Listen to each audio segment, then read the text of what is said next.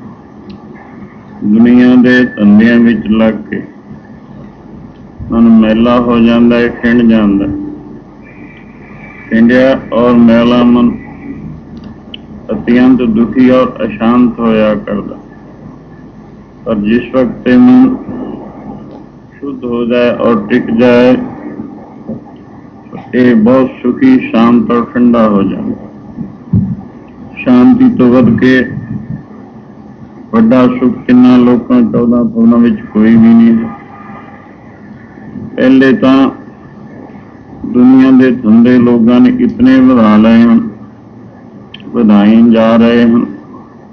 ਸਾਰੀ ਜ਼ਿੰਦਗੀ ਧੰਦਿਆਂ ਵਿੱਚ ਹੀ ਲੱਗ ਜਾਂਦੀ ਹੈ। ਜਿਸ ਕੰਮ ਵਾਸਤੇ ਮਾਨੁਖ ਸਰੀਰ ਮਿਲਿਆ ਹੈ, ਉਸ ਵਾਸਤੇ ਉਹਨਾਂ ਨੂੰ ਵਕਤ ਹੀ ਨਹੀਂ ਮਿਲਦਾ। ਇਸ ਵਾਸਤੇ ਮਾਨੁਖ ਸਰੀਰ ਮਿਲਿਆ ਹੈ, ਭਈ ਪ੍ਰਾਪਤ ਮਾਨੁਖ ਦੇ ਵਰੀਆ, ਗੋਬਿੰਦ ਮਿਲ ਕੀ ਹੈ ਤੇਰੀ ਵਰੀਆ, ਅਵਰ ਕਾਜ ਤੇਰੇ ਕਿਤੇ ਨਾ ਕਾਮ, ਮਿਲ ਸਾਧ ਸੰਗਤ ਭਜ ਕੇਵਲ। ਮਨੁੱਖਾ ਸਰੀਰ ਵਾਹਿਗੁਰੂ ਦਾ ਭਜਨ ਸਤਸੰਗ ਦੁਆਰਾ ਕਰਕੇ ਉਸ ਨੂੰ ਮਿਲਣ ਵਾਸਤੇ ਉਪਰਾਲਾ ਕਰਨੇ ਇਸ ਵਾਸਤੇ ਮਿਲਿਆ ਹੈ।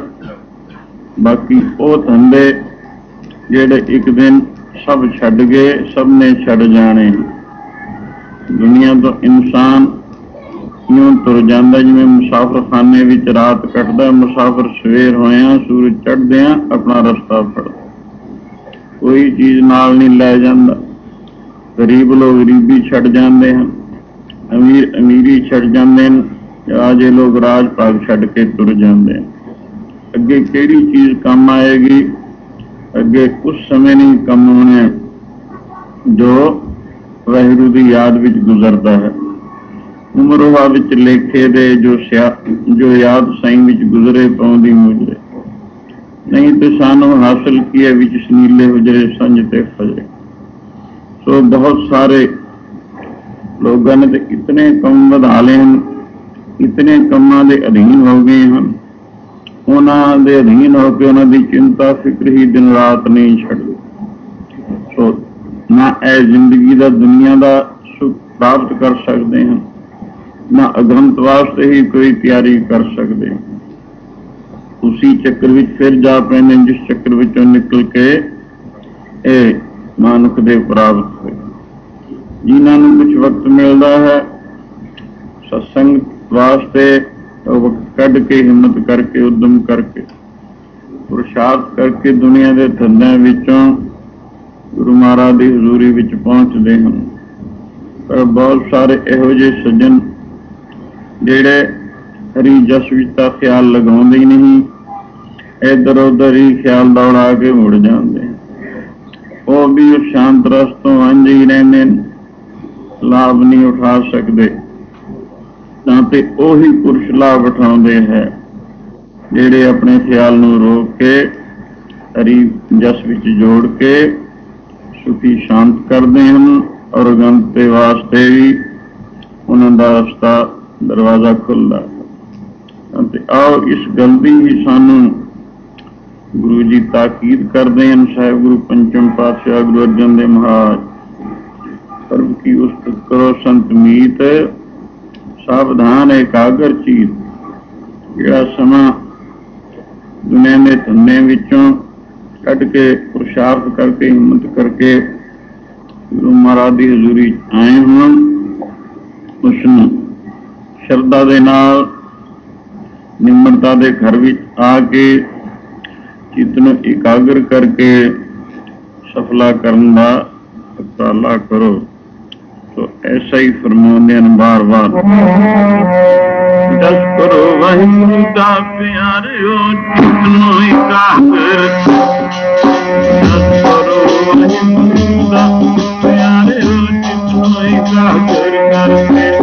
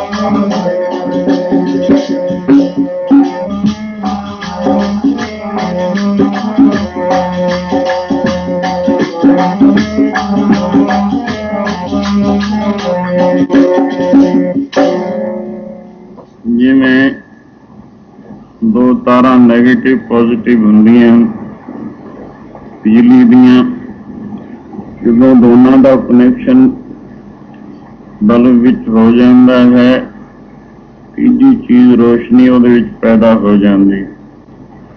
ਇਸੇ ਤਰ੍ਹਾਂ ਹੀ ਮਨ ਦੀ ਇਕਾਗਰਤਾ ਦੇ ਵਾਸਤੇ ਸ਼ਰਧਾ ਔਰ ਨਿਮਰਤਾ ਦੋ ਸਾਧਨ ਪਹਿਲਾਂ ਜਦ ਆ ਜਾਣ, ਇਕਾਗਰਤਾ ਸਹਿਜੇ ਹੋ ਜਾਂਦੀ ਹੈ। ਸ਼ਰਧਾ ਦੀ ਬਾਬਤ ਆਪਨੇ ਪਿਛਲੇ ਦਿਨਾਂ ਵਿੱਚ ਸੁਣਿਆ ਸ਼ਰਧਾ ਕਿਤਨੀ ਬਲਵਾਨ, ਸ਼ਕਤੀ ਬਲਵਾਨ ਸਾਧਨ ਹੈ। ਤੋ ਦੂਸਰੀ ਗੱਲ ਹੈ ਨਿਰਮਾਣਤਾ। ਇਨਸਾਨ ਦੇ ਚਿੱਤ ਵਿੱਚ ਕਈ ਕਿਸਮ ਦਾ ਮਾਨ ਇਸ ਦੇ ਅੰਦਰ ਇਉਂ ਫਸਿਆ ਪਿਆ ਜਿਵੇਂ ਟਿੱਬਾ ਹੁੰਦਾ ਹੈ ਰੇਤੇ ਦਾ। ਟਿੱਬੇ ਉੱਪਰ ਪਾਣੀ ਨਹੀਂ ਖੜਿਆ ਕਰਦਾ। ਕਿਤਨੀ ਬਾਰਿਸ਼ ਪਵੇ ਪਾਣੀ ਰੁੜ ਜਾਂਦਾ। ਇਸੇ ਤਰ੍ਹਾਂ ਜਿਸ ਦੇ ਮਨ ਦੇ ਅੰਦਰ ਹੰਕਾਰ ਦੇ ਟਿੱਬੇ ਹਨ, ਉੱਥੇ ਵਾਹਿਗੁਰੂ ਦਾ ਜਸ ਕਹਿ ਨਹੀਂ ਸਕਦਾ। ਤਦੇ ਹੀ ਬਾਰ-ਬਾਰ ਸਾਨੂੰ ਗੁਰੂ ਜੀ ਨੇ ਇਹਨਾਂ ਟਿੱਬਿਆਂ ਟੋਇਆਂ ਨੂੰ ਢਾਉਣ ਵਾਸਤੇ ਤਾਕੀਦ ਕੀਤੀ ਫਰੀਦਾ ਮਨ ਮੈਦਾਨ ਕਰ ਟੋਏ ਟਿੱਬੇ ਲਾ। ਅੱਗੇ ਮੂਲ ਨਾ ਆਪਸੀ ਦੋਜਕ ਸੰਦੀਪਾ ਟੋਏ ਕਮਜ਼ੋਰੀਆਂ ਟਿੱਬੇ ਹੰਕਾਰ ਦੇ ਇਹਨੂੰ ਦੂਰ ਕਰ, ਤਦ ਹੀ ਦੋਜਕ ਦੀ ਅੱਗ ਤੋਂ ਬਚੇਗਾ। ਇੱਥੇ ਸ਼ਾਂਤ ਸੁਖ ਪ੍ਰਾਪਤ ਕਰੇਗਾ। ਹੰਕਾਰ ਛੇ ਕਿਸਮਾਂ ਮੰਨਿਆ ਸਾਧ ਸਿੰਘ ਭਾਵੇਂ ਬਹੁਤ ਕਿਸਮ ਦਾ ਹੋਰ ਵੀ ਉਪਸਰ ਕੇ ਵੱਧ ਜਾਂਦਾ ਹੈ। ਪਰ ਆਮ ਰਾਜਮਦ ਹੈ, ਹਕੂਮਤ ਮਦ ਹੈ ਹਨਮਦ ਹੈ, ਰੂਪ ਮਦ ਹੈ, ਜਵਾਨੀ ਮਦ ਹੈ, ਵਿਦਿਆ ਮਦ ਹੈ। ਇਹ ਛੇ ਕਿਸਮ ਦਾ ਹੰਕਾਰ। ਜਦੋਂ ਇਨਸਾਨ ਦੇ ਚਿੱਤ ਵਿੱਚ ਇਹਨਾਂ ਤੋਂ ਕਿਸੇ ਕਿਸਮ ਦਾ ਹੰਕਾਰ ਹੁੰਦਾ ਹੈ, ਉੱਥੇ ਨਾਮ ਦਾ ਨਿਵਾਸ ਹੋਣਾ ਹੀ ਔਖਾ ਹੋ ਜਾਂਦਾ ਹੈ। ਜਿਵੇਂ ਬਰਤਨ ਵਿੱਚ ਜ਼ਹਿਰ ਪਿਆ ਹੋਵੇ, ਉਹਦੇ ਵਿੱਚ ਅੰਮ੍ਰਿਤ ਨਿਵਾਸ ਨਹੀਂ ਕਰ ਸਕਦਾ। ਜਦੋਂ ਉਸ ਜ਼ਹਿਰ ਨੂੰ ਕੱਢਿਆ ਜਾਏ, ਉਸ ਬਰਤਨ ਦੇ ਵਿੱਚ ਅੰਮ੍ਰਿਤ ਦਾ ਨਿਵਾਸ ਹੁੰਦਾ ਹੈ, ਵਸਤੂ ਅੰਦਰ ਵਸ ਸਮਾਵੇ, ਦੂਜੀ ਹੋਵੇ ਪ੍ਰਾਸ। ਇਉਂ ਤਾਂ ਤੇ ਇਹਨਾਂ ਵਸਤਾਂ ਨੂੰ ਕੱਢਣਾ, ਚਿੱਤ ਵਿੱਚ ਨਿਮਰਤਾ ਲਿਆਉਣੀ ਹੈ। ਇਹ ਜਿਤਨੀਆਂ ਚੀਜ਼ਾਂ ਹਨ ਛੇ ਕਿਸਮਾਂ ਮਦ ਜੋ ਦੱਸਿਆ ਅਣ ਹੋਇਆ ਹੈ ਬਸ ਅਸਲ ਨਹੀਂ ਵਾਸਤਵ ਨਹੀਂ ਠੀਕ ਨਹੀਂ ਹੈ ਯਥਾਰਥ ਨਹੀਂ ਹੈ ਇਹ ਸਿਰਫ ਇਸ ਦੇ ਮਨ ਦੀ ਹੀ ਘਾੜਤ ਕੀਤੀ ਹੋਈ ਹੈ ਚੀਜ਼ਾਂ ਤਾਂ ਸਾਰੀਆਂ ਵਾਹਿਗੁਰੂ ਦੀਆਂ ਹਨ ਰਾਜ ਕਿਹਦੀ ਦਾਤ ਹੈ ਵਾਹਿਗੁਰੂ ਦੀ ਹਕੂਮਤ ਕਿਸ ਦੀ ਦਾਤ ਹੈ ਵਾਹਿਗੁਰੂ ਦੀ ਧਨ ਕਿਸ ਦੀ ਦਾਤ ਹੈ ਵਾਹਿਗੁਰੂ ਦੀ ਰੂਪ ਕਿਸ ਦੀ ਦਾਤ ਹੈ ਵਾਹਿਗੁਰੂ ਔਰ ਵਿਦਿਆ ਦੀ ਦਾਤ ਹੈ ਵਾਹਿਗੁਰੂ ਦੀ, ਜਵਾਨੀ ਕਿਸ ਦੀ ਦਾਤ ਹੈ ਵਾਹਿਗੁਰੂ ਦੀ, ਸਾਰੀਆਂ ਦਾਤਾਂ ਦਰਸਲ ਵਾਹਿਗੁਰੂ ਦੀਆਂ ਹਨ। ਅਗਰ ਇਹ ਇਉਂ ਜਾਣ ਲਵੇ, ਜਿਸ ਕੀ ਤਿਸ ਕੀ ਕਰ ਜਾਣ, ਆਪ ਨ ਲਾਹੇ ਗਵਾ ਜਿਸ ਦੀ ਵਸਤੂ ਹੈ, ਉਸ ਦੀ ਸਮਝ ਲੈ। ਆਪਣੀ ਹਾਂ ਥੋਪੀ ਹਾਂ ਛੱਡ ਦੇ। ਅਗਰ ਐਸਾ ਹੋਏਗਾ, ਮਨ ਖਾਲੀ ਹੋ ਜਾਏਗਾ ਹਰੀ ਜਸ ਵਾਸਤੇ ਉਹ ਮਨ ਰੂਪੀ ਬਰਤਨ ਹਰੀ ਜਸ ਦੇ ਨਾਲ ਸ਼ਾਂਤ ਰਸ ਦੇਣਾ, ਲਵਾ ਲਵ ਭਰ ਭਾਈ ਸਾਹਿਬ, ਭਾਈ ਗੁਰਦਾਸ ਤੋਂ ਪੁੱਛਿਆ ਕਿ ਪਰਮ ਪਦਵੀ ਦੇ ਸਾਧਨ ਕਿਰਪਾ ਕਰਕੇ ਦੱਸੋ। ਉਹਨਾਂ ਨੇ ਥੋੜੇ ਅੱਖਰਾਂ ਵਿੱਚ ਇੱਕੋ ਥਾਂ ਇਹ ਸਾਧਨ ਦੱਸੇ ਅਗਰ ਇਹਨਾਂ ਨੂੰ ਅਮਲ ਵਿੱਚ ਲਿਆਵੇ ਨਾਮ ਕਰੋੜਾਂ ਗ੍ਰੰਥਾਂ ਦਾ ਸਾਰ ਹਿਰਦੇ ਵਿੱਚ ਆ ਵਸਦਾ ਹੈ। ਪਰਮ ਪਦਵੀ ਕੋ ਜਨਮ ਦੇ ਵਿੱਚ ਹਾਸਲ ਕਰ ਸਕਦਾ ਹੈ। ਸੋ ਇਹ ਦੱਸਦੇ ਹਾਂ ਇਹਦੇ ਗਰੀਬੀ ਆਵੇ, ਗੁਰਮਤ ਰਿੰਦੇ ਗਰੀਬੀ ਆਵੇ। ਇਹਦੇ ਆਵੇ, ਗੁਰਮਤ ਰਿੰਦੇ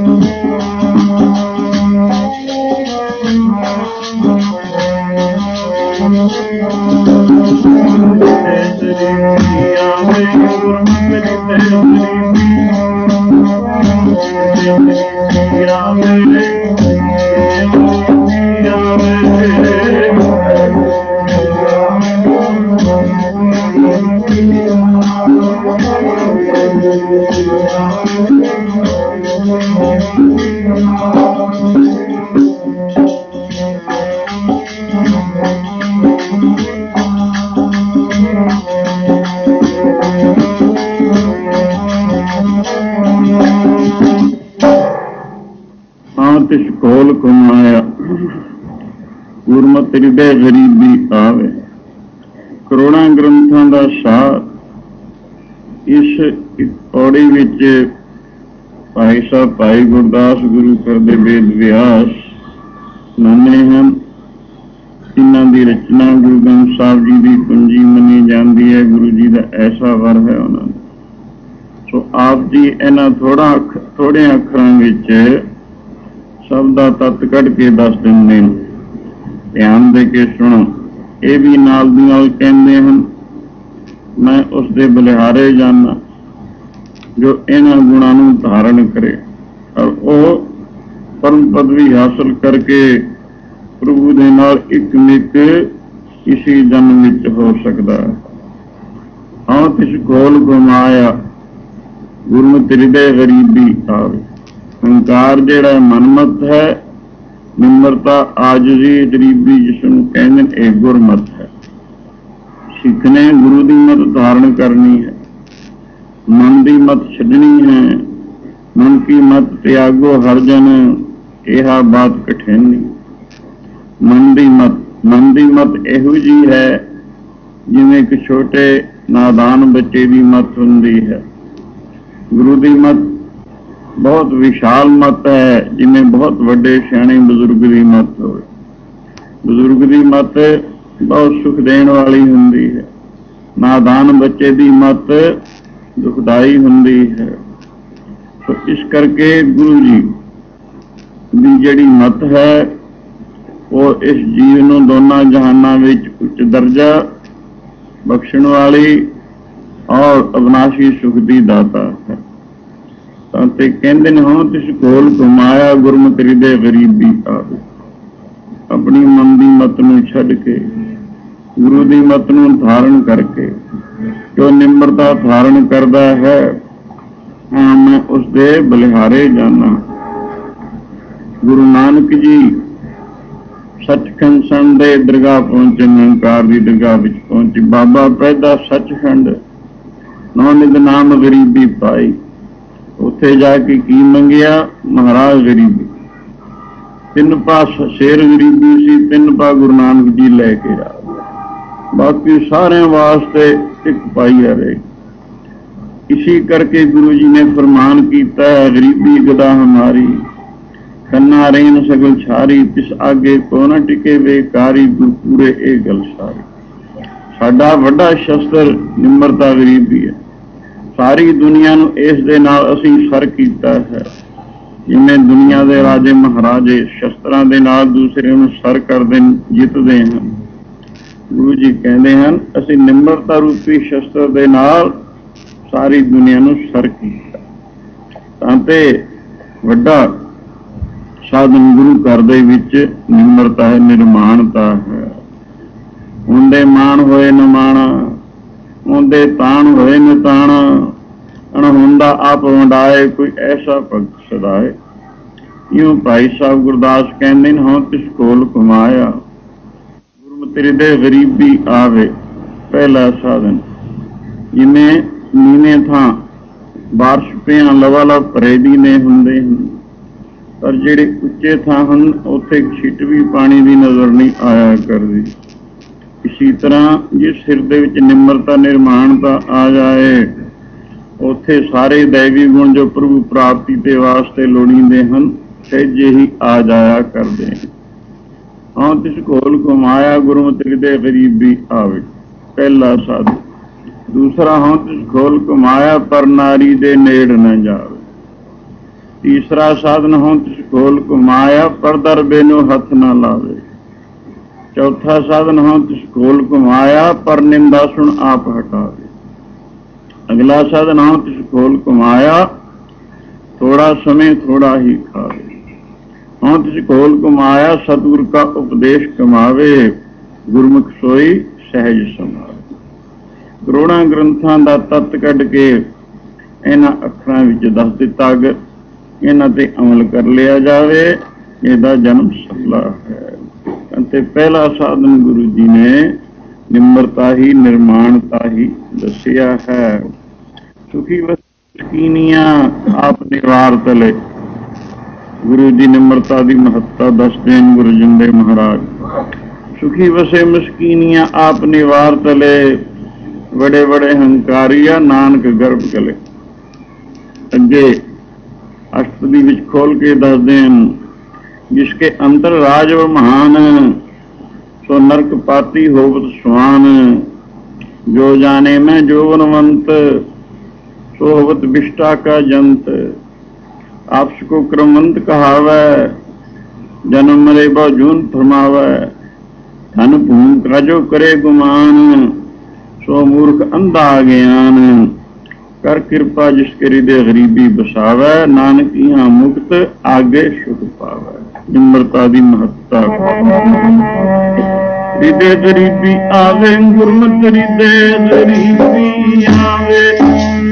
ਰਿਦੇ ਗਰੀਬੀ ਆਵੇ ਰਿਦੇ ਗਰੀਬੀ ਆਵੇ।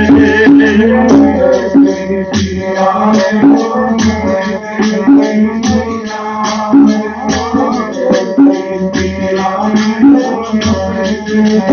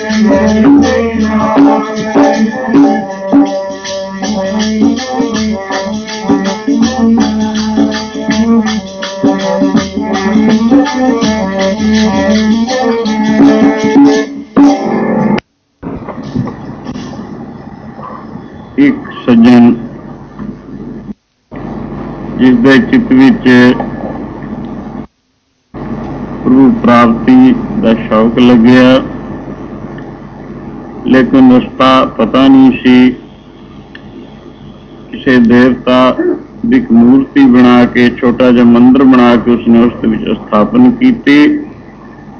ਉਸ ਦੇ ਸਾਹਮਣੇ ਬੈਠ ਕੇ ਰੋਜ਼ ਉਸ ਦੀ ਪੂਜਾ ਕਰਿਆ ਕਾਫੀ ਸਮਾਂ ਗੁਜ਼ਰ ਗਿਆ। ਸਾਧ ਸਿੰਘ ਜਿਤਨੀ ਦੇਰ ਤੱਕ ਕਿਸੇ ਥਾਂ ਜਾਣ ਦਾ ਸਹੀ ਸਹੀ ਰਸਤਾ ਹੱਥ ਨਾ ਆਇਆ ਹੋਵੇ, ਉੱਥੇ ਕਿਵੇਂ ਪਹੁੰਚ ਸਕੀਂਦਾ? ਸੋ ਇਸੇ ਤਰ੍ਹਾਂ ਹੀ ਪ੍ਰਭੂ ਪ੍ਰਾਪਤੀ ਦਾ ਜਿਤਨੀ ਦੇਰ ਤੱਕ ਸਹੀ ਹਸਤਾ ਹੱਥ ਨਾ ਆਵੇ, ਉੱਥੇ ਕਿਵੇਂ ਪਹੁੰਚ ਸਕਦਾ ਹੈ? ਸੋ ਉਸ ਦੇਵਤਾ ਦੀ ਉਪਾਸਨਾ ਕਾਫੀ ਦੇਰ ਕਰਦਾ ਰਿਹਾ, ਇੱਕ ਦਿਨ ਦਾ ਜ਼ਿਕਰ। ਉਸ ਦੇ ਚਿੱਤ ਵਿੱਚ ਬਹੁਤ ਪ੍ਰੇਮ ਪੈਦਾ ਹੋਇਆ, ਜਿਉਂ ਸਵੇਰੇ ਇਸ਼ਨਾਨ ਵਗੈਰਾ ਕਰਕੇ। ਉਸ ਆਪਣੇ ਦੇਵਤਾ ਦੀ ਮੂਰਤੀ ਦੇ ਅੱਗੇ ਬੈਠਾ, ਸਾਰਾ ਦਿਨ ਲੰਘ ਗਿਆ। ਰਾਤ ਵੀ ਗੁਜ਼ਰ ਗਈ, ਪਿਛਲਾ ਪੈ ਰਾਤਰੀ ਦਾ ਹੋ ਆਇਆ। ਕਿਉਂਕਿ ਸਾਰੇ ਦਿਨ ਦਾ ਸਾਰੀ ਰਾਤ ਦਾ ਬੈਠਾ ਸੀ। ਬੈਠੇ ਬੈਠੇ ਨੂੰ ਆਲਸ ਆ ਜਾਂਦੀ ਹੈ। ਉਸ ਦੇਵਤਾ ਵੱਲੋਂ ਉਸ ਨੂੰ ਇਸ਼ਾਰਾ ਹੋਇਆ ਕਹਿਣ ਲੱਗੇ ਜੇ ਤੂੰ ਮੁਕਤ ਚਾਹਨਾ ਹੈ ਦੇਵੀ ਦੇਵਤਾ ਖੁਦ ਮੁਕਤ ਨਹੀਂ ਹਨ, ਤੈਨੂੰ ਕੈਸੇ ਮੁਕਤ ਕਰ ਦੇਣਗੇ? ਦੇਵੀ ਦੇਵਤਾ ਕੁਝ ਆਪਣੇ ਬਿਤ ਅਨੁਸਾਰ ਈਸ਼ਵਰ ਤਾਂ ਦੇ ਸਕਦੇ ਹੈ ਪਰ ਮੁਕਤ ਖੁਦ ਨਹੀਂ ਜਿਹੜਾ ਮੁਕਤ ਨਹੀਂ ਉਹ ਦੂਸਰੇ ਨੂੰ ਮੁਕਤ ਕੈਸੇ ਕਰੇਗਾ? ਜੇ ਉਹ ਸੇਵਾ ਤੇ ਉਹ ਹੋਵੇ। ਜਿਹੀ ਜੀ ਉਪਾਸਨਾ ਹੁੰਦੀ ਹੈ, ਵੈਸਾ ਹੀ ਉਪਾਸਕ ਬਣ ਜਾਇਆ ਕਰਦਾ ਹੈ। ਅਗਰ ਤੂੰ ਮੁਕਤ ਜਾਣਾ ਹੈ, ਮੁਕਤ ਦਾ ਸੁਲਤਾਨਪੁਰੇ ਮੋਦੀ ਥਾਣੇ ਦਾ ਕੰਮ ਕਰਦਾ, ਉੱਥੇ ਪਹੁੰਚ। ਇਹ ਉਸ ਨੂੰ ਇਸ਼ਾਰਾ ਹੋਇਆ ਇਹ ਉੱਠ ਕੇ ਝਾਟੀ ਉਸਨੇ, ਕਿਉਂਕਿ ਉਹਦੇ ਚਿੱਤ ਵਿੱਚ ਹੋਰ ਤਾਂ ਕੋਈ ਇੱਛਾ ਹੈ ਨਹੀਂ ਸੀ। ਬੜਾ ਧਨਾੜਾ ਆਦਮੀ ਸੀ। ਪਦਾਰਥ ਦੀ ਤਾਂ ਕੋਈ ਕਾਮਨਾ ਨਹੀਂ ਸੀ, ਸਿਰਫ ਉਹਦੇ ਚਿੱਤ ਮੁਕਤ ਦੀ ਇੱਛਾ ਸੀ। ਉਸ ਮੌਕੇ ਉਥੋਂ ਸੁਲਤਾਨਪੁਰੇ ਦਾ ਰਸਤਾ ਫੜਦਾ ਗੁਰੂ ਨਾਨਕ ਜੀ, ਨਵਾਬ ਦੌਲਤ ਖਾਨ ਦੇ ਮੋਦੀ ਖਾਨੇ ਦੇ ਵਿੱਚ ਮੋਦੀ ਦਾ ਕੰਮ ਕਰਦੇ ਉੱਥੇ ਪਹੁੰਚਿਆ, ਬੜੀ ਭੀੜ ਭਾੜ ਲੋਕਾਂ ਦੀ, ਦੂਰੋਂ ਦਰਸ਼ਨ ਕਰਕੇ ਦੂਰ ਹੀ ਖੜਾ ਰਿਹਾ, ਪਿਆਰ ਨਾਲ ਦਰਸ਼ਨ ਕਰੀ ਜਾਂਦਾ ਹੈ।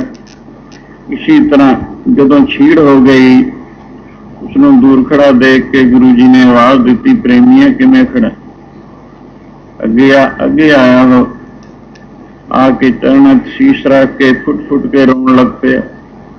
ਕਿਰਪਾ ਕਰੋ, ਜਨਮ ਸਫਲਾ ਹੋ ਜਾਵੇ। ਮਸਾ ਮਸਾ ਲੱਖ 84 ਭਰਮੇ ਦੁਰਲਭ ਜਨਮ ਪਾਇਓ। ਲੱਖ 84 ਚ ਭਰਮਿਆ ਮਸਾ ਮਸਾ ਮਾਨੁਖ ਦੇ ਹੱਥ ਆਈ ਹੈ। ਪ੍ਰਭੂ ਪ੍ਰਾਪਤੀ ਵਾਸਤੇ ਖੁੱਲਾ ਦਰਵਾਜ਼ਾ ਮਿਲਿਆ ਹੈ। ਅਗਰ ਚਾਰ ਦਿਹਾੜੇ ਐਵੇਂ ਕੱਟ ਕੇ ਫਿਰ ਮਰ ਗਏ, ਉਸ 84 ਵੀ ਜਾ ਡਿੱਗੇ। ਮਾਨੁਖ ਤਨ ਧਾਰੇ ਦਾ ਫਾਇਦਾ ਕੀ ਕਿਰਪਾ ਕਰੋ ਗਰੀਬਾਜ ਮਾਨੁਖ ਤਨ ਸਫਲਾ ਹੋ ਜਾਏ ਜਨਮ ਮਨ ਦੇ ਬੰਧਨ ਕੱਟ ਦਿਓ। ਇਹ ਵਚਨ ਸੁਣ ਕੇ ਗੁਰੂ ਜੀ ਕਹਿਣ ਲੱਗੇ, ਪ੍ਰੇਮੀਆਂ, ਭਗੀਰਥ, ਜੇਕਰ ਤੇਰੇ ਚਿੱਤ ਵਿੱਚ ਮੁਕਤ ਦੀ ਇੱਛਾ ਹੈ ਤਾਂ ਇਸ ਦੇ ਵਾਸਤੇ ਤੂੰ ਤਿੰਨ ਸਾਧਨ ਕਰ। ਮੁਕਤ ਕਾਨੂੰ ਕਹਿੰਦੇ ਨੇ, ਸਾਧ ਸਿੰਘ ਜਨਮ ਆਪ ਸਾਰੇ ਦੁੱਖ, ਦੁੱਖਾਂ ਦੀ ਨਿਵਰਤੀ ਹੋ ਜਾਏ। ਪਰਮਾਨ ਸੁਖ ਜੋ ਵਾਹਿਗੁਰੂ ਆਨੰਦ ਦਾ ਸਾਗਰ ਹੈ, ਉਸ ਦੀ ਹੋ ਜੇ ਪ੍ਰਾਪਤੀ, ਇਸ ਦਾ ਨਾਮ ਹੀ ਮੁਕਤ ਹੈ। ਸਵੈਮ ਕਰਕੇ ਗੁਰੂ ਜੀ ਕਹਿੰਦੇ, ਅਗਰ ਤੂੰ ਮੁਕਤ ਚਾਹਨਾ ਹੈ ਤਾਂ ਤਿੰਨ ਸਾਧਨ ਪਕਾ ਲੈ। ਮੁਕਤ ਸਹਿਜੇ ਹੀ ਪ੍ਰਾਪਤ ਹੋ ਜਾਏਗੀ। ਉਸਨੇ ਅਰਜ ਕੀਤੀ ਗਰੀਵਾ ਹੁਕਮ ਕਰੋ। ਪਹਿਲਾ ਸਾਧਨ ਤਾਂ ਹੈ ਵਾਹਿਗੁਰੂ ਦੇ ਨਾਮ ਨਾਲ ਲਿਵ ਲਾਉਣੀ। ਇੱਕ ਰਸ ਬਿਰਤੀ ਲਗਾਉਣੀ, ਤੇਲ ਧਾਰਾ। ਬਾਰ-ਬਾਰ ਅਭਿਆਸ ਕਰਕੇ ਬਿਰਤੀ ਨੂੰ ਨਾਮ ਦਾ ਸ਼ਬਦ ਦਾ ਰੂਪ ਬਣਾਉਣਾ। ਦੂਸਰਾ ਸਾਧਨ ਹੈ ਹਉਮੈ ਦਾ ਤਿਆਗ, ਦੇਹੰਗਤਾ ਦੇ ਮਮਤਾ। ਇਨਸਾਨ ਦੇ ਚਿੱਤ ਵਿੱਚ ਹਉਮੈ ਕਈ ਕਿਸਮ ਦੀ ਵਸੀ ਹੋਈ ਹੈ। ਦਰਸਲ ਦੇਹੰਗਤਾ ਦੇ ਮਮਤਾ ਹੀ ਪਸਰ ਕੇ ਇਤਨੇ, ਇਤਨੀਆਂ ਸ਼ਕਲਾਂ ਧਾਰਦੀ ਹੈ। ਹਉਮੈ ਜਿਸ ਨੂੰ ਕਿਹਾ ਜਾਂਦਾ ਹਮ ਮੈਂ।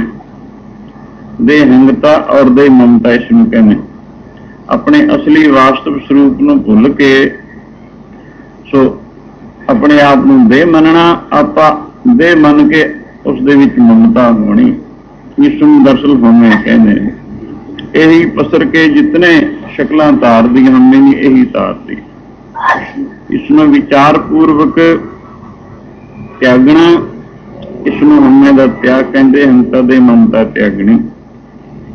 ਤੀਸਰਾ ਸਾਧਨ ਹੈ ਪਾਣਾ ਮਿੱਠਾ ਮੰਨਣਾ।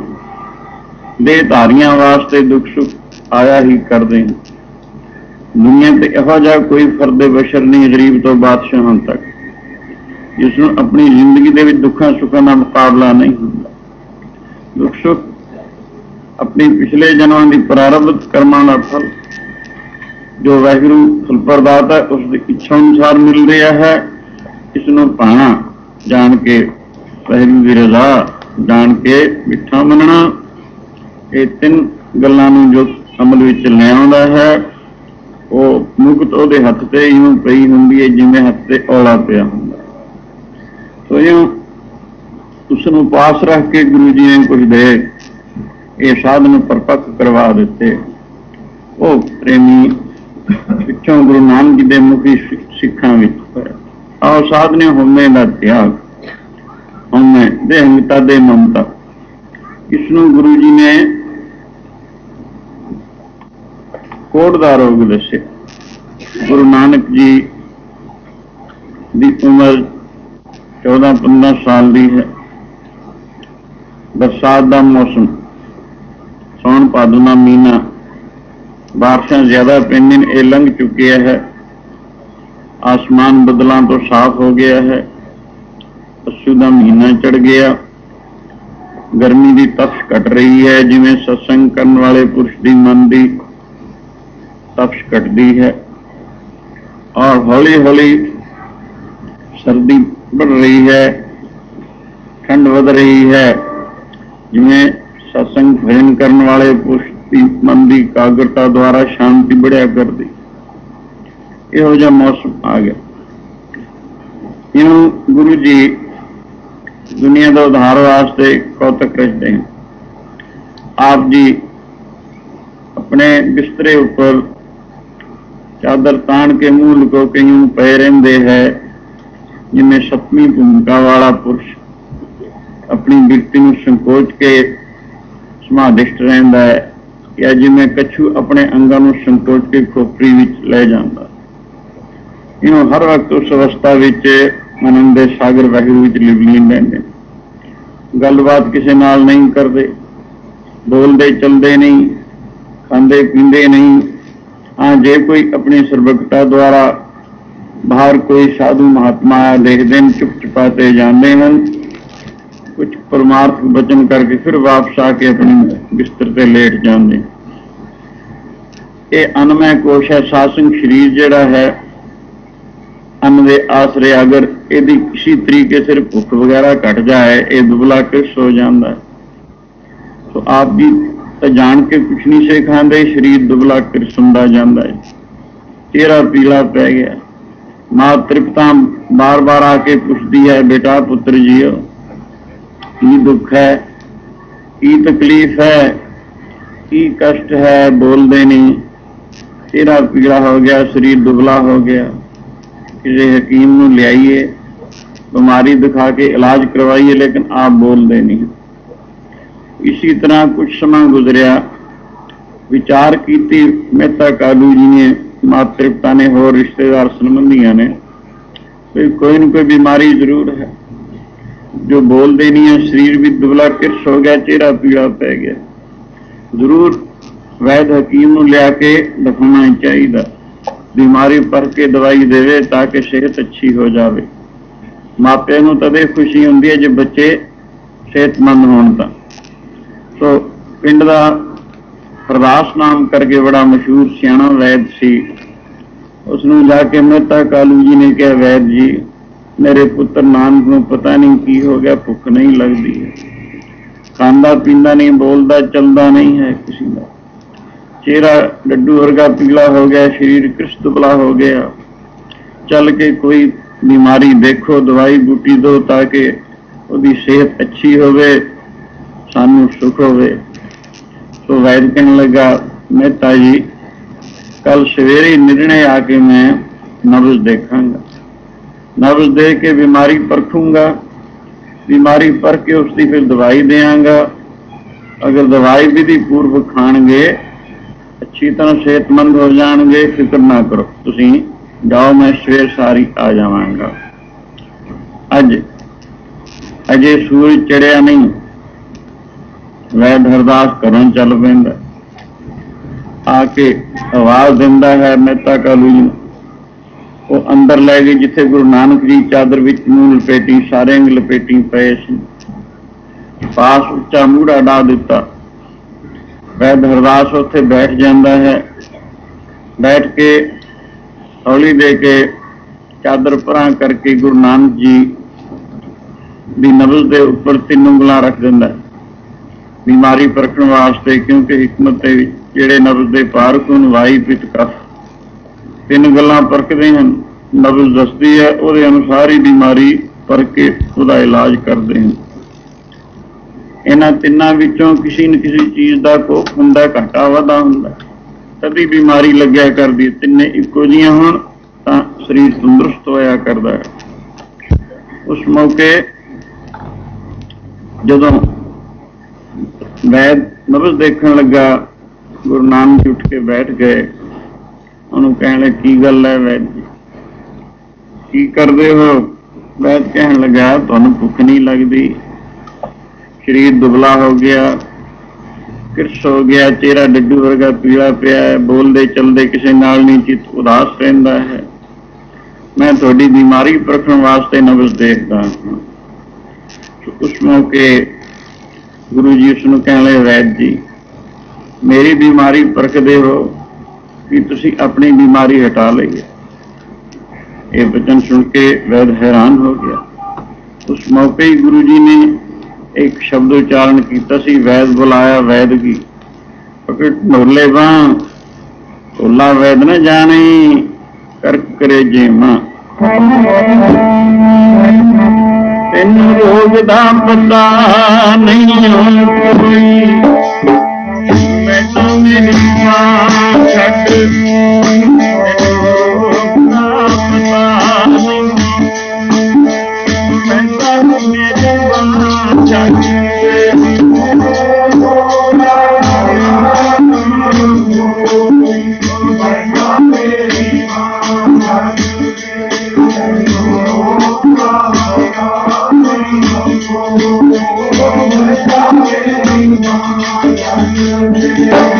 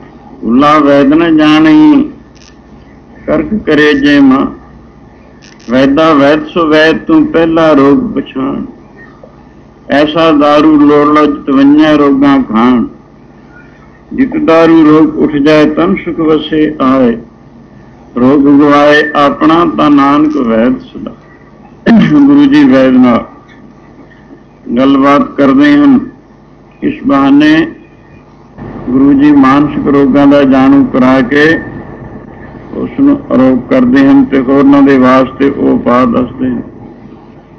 ਕਹਿਣ ਲੱਗੇ, ਵੈਦ ਜੀ, ਕਿ ਤੇ ਆਪਣੀ ਬਿਮਾਰੀ ਹਟਾ ਲਈ। ਉਹ ਕਹਿੰਦੇ, ਮੈਨੂੰ ਤਾਂ ਕੋਈ ਬਿਮਾਰੀ ਨਹੀਂ। ਗੁਰੂ ਜੀ ਮੁਸਕਰਾ ਕੇ ਕਹਿਣ ਲੱਗੇ, ਸਾਰਾ ਸੰਸਾਰ ਹੀ ਰੋਗੀ ਹੈ। ਸੰਸਾਰ ਰੋਗੀ ਨਾਮ ਦਾਰੂ ਮੈਂ ਲਾਗੇ ਸਚ ਬਿਨ ਜੋ ਜੋ ਦਿਸੇ ਸੋ ਸੋ ਰੋਗੀ। ਰੋਗ ਰਹਿਤ ਮੇਰਾ ਸਤਿਗੁਰ ਜੋਗੀ ਪੰਜੇ ਤੱਤਾਂ ਦੇ ਸਾਰੇ ਸਰੀਰ ਬਣੇ। ਮਿੱਟੀ, ਪਾਣੀ, ਅਗਵਾ, ਆਕਾਸ਼, ਕੀੜੀ ਤੋਂ ਲਾ ਕੇ ਬ੍ਰਹਮਾ ਤੱਕ। ਜਿਤਨੇ ਲੱਖ 84 ਜੋਨ, ਇਹ ਜੋਨੀ ਪਤਾ ਨਹੀਂ ਕਿਤਨੇ ਕਿਤਨੇ ਸਰੀਰ तो ਸਾਰੇ ਪੰਜਾਂ ਤੱਤਾਂ ਦੀ ਬਣਾਵਟ ਹੈ। ਪੰਜੇ ਤੱਤ ਮਿੱਟੀ, ਪਾਣੀ, ਅਗਵਾ, ਆਕਾਸ਼ ਆਪ- ਆਪਸ ਵਿੱਚ ਹੀ ਵਿਰੋਧੀ ਹਨ। ਸੋ, ਇਹਨਾਂ ਨੂੰ ਮਿਲਾ ਜਲਾ ਕੇ ਇਹ ਜਿਸਮ ਰੂਪੀ ਮਕਾਨ ਬਣੇ ਹੋਏ ਨੇ ਚੱਲਦੇ ਫਿਰਦੇ ਮਕਾਨ ਹਨ, ਮਾਨੋ। ਸੋ ਇਸ ਕਰਕੇ ਇਹਨਾਂ ਦਾ ਆਪਸ ਵਿੱਚ ਹੀ ਵਿਰੋਧ ਹੋਣ ਕਰਕੇ ਸਰੀਰ ਦਾ ਬਿਲਕੁਲ ਰੋਗ ਹੋਣਾ ਅਸੰਭਵ ਹੈ। ਸੋ ਇਉਂ ਗੁਰੂ ਜੀ ਕਹਿਣ ਲੱਗੇ, ਸਾਰਾ ਸੰਸਾਰ ਹੀ ਰੋਗੀ ਹੈ। ਜੋ ਜੋ ਦਿਸੇ ਸੋ ਸੋ ਰੋਗੀ, ਸਾਰੇ ਹੀ ਰੋਗੀ, ਪਰ ਰੋਗ ਰਹਿਤ ਮੇਰਾ ਸਤਿਗੁਰ ਜੋ ਉਹ ਆਤਮ ਵਸਤੂ ਵਾਹਿਗੁਰੂ, ਜਿਹੜਾ ਪੰਜਾਂ ਤੱਤਾਂ ਤੋਂ ਪਰੇ ਹੈ ਇੱਕ ਰਸ ਆਪਣੇ ਆਪ ਵਿੱਚ ਸਥਿਤ ਹੈ, ਆਨੰਦ ਦਾ ਸਾਗਰ, ਉਹਦੇ ਵਿੱਚ ਰੋਗ ਨਹੀਂ, ਬਾਕੀ ਔਰ ਸਭ ਰੋਗੀਆਂ ਨੇ। ਜੋ ਜੋ ਕਿਸੇ ਜੀ ਸੋ ਸੋ ਰੋਗੀ ਸੋ ਰੋਗੀ ਜੋ ਜੋ ਕਿਸੇ ਜੀ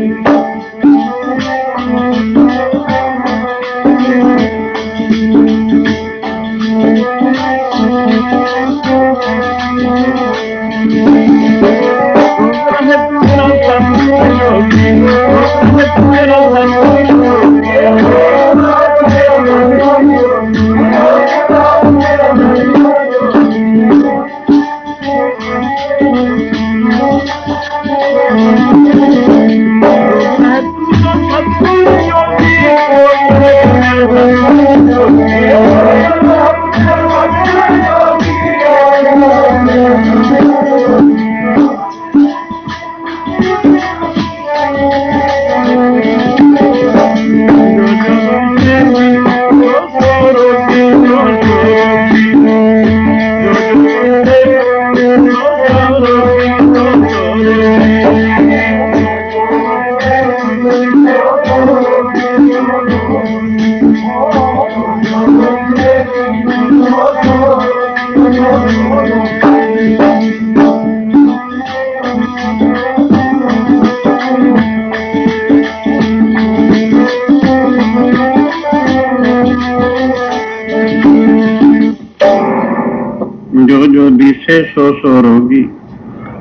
ਰੋਗ ਰਹਿਤ ਮੇਰਾ ਸਤਿਗੁਰ ਜੋਗੀ। ਕਿਉਂਕਿ ਹੈ ਜੈ ਸੁਨ ਮੰਡਲਿਕ ਜੋਗੀ ਬੈਸੇ। ਨਾਰਨਾ ਪੁਰਖ ਕੋ ਕੋ ਕੈਸੇ ਆਤਮ ਵਸਤੂ ਹੀ ਰੋਗ ਸੇ ਰਹਿਤ। ਬਾਕੀ ਪੰਜਾਂ ਤੱਤਾਂ ਦੀ ਜਿਤਨੀ ਬਣਾਵਟ ਹੈ, ਇਹ ਰੋਗ ਸੇ ਰਹਿਤ ਹੋਣਾ ਅਸੰਭਵ ਹੈ ਇਸ ਦਾ। ਸੋ ਦੋ ਕਿਸਮ ਦੇ ਰੋਗ ਹਨ, ਇੱਕ ਜਿਸਮਾਨੀ ਰੋਗ ਹੈ ਇੱਕ ਮਾਨਸਿਕ ਰੋਗ ਹਨ। ਸੋ ਗੁਰੂ ਜੀ ਇੱਥੇ ਕਹਿਣ ਲੱਗੇ ਹੈ ਜੀ ਤੂੰ ਤਾਂ ਕਹਿੰਦਾ ਮੈਨੂੰ ਕੋਈ ਰੋਗ ਨਹੀਂ। ਪਰ ਤੈਨੂੰ ਕੋੜ ਦਾ ਰੋਗ ਲੱਗਿਆ ਹੋਇਆ। ਕੋੜ ਕਿਤਨਾ ਵੱਡਾ ਰੋਗ। ਇਹ ਸੁਣ ਕੇ ਵੈਦ ਹੈਰਾਨ ਹੋਵੇ ਸਰਜਵਾ ਤੇ ਕੋੜ। 18 ਯਾਨੀ ਕੋੜ ਜਿਹੜਾ ਹੈ, ਇਹਨੂੰ ਵੀ ਨਰਕ ਵਿੱਚ ਸ਼ਾਮਲ ਕੀਤਾ ਜਾਂਦਾ। ਸੋ ਕੋੜ ਹੈ। ਸੋ ਇਹ ਸੁਣ ਕੇ ਉਹਦੇ ਚਿੱਤ ਵਿੱਚ ਸ਼ਰਧਾ ਹੋ ਆਈ ਪੁੱਛਣਾ ਚਾਹੁੰਦਾ ਹੈ, ਕਿਰਪਾ ਕਰਕੇ ਦੱਸੋ ਜੇ ਉਹ ਹੈ ਮੈਨੂੰ ਸਮਝਾਓ ਤੇ ਉਸ ਦਾ ਇਲਾਜ ਵੀ ਜ਼ਰੂਰ ਕਿਰਪਾ ਕਰਕੇ ਦੱਸੋ। ਹਾਂ, ਗੁਰੂ ਜੀ ਕਹਿਣ ਲੱਗੇ, ਸਭ ਤੋਂ ਵੱਡਾ ਰੋਗ ਤਾਂ ਇਨਸਾਨ ਨੂੰ ਇਹੀ ਲੱਗਿਆ ਹੋਇਆ ਹੈ।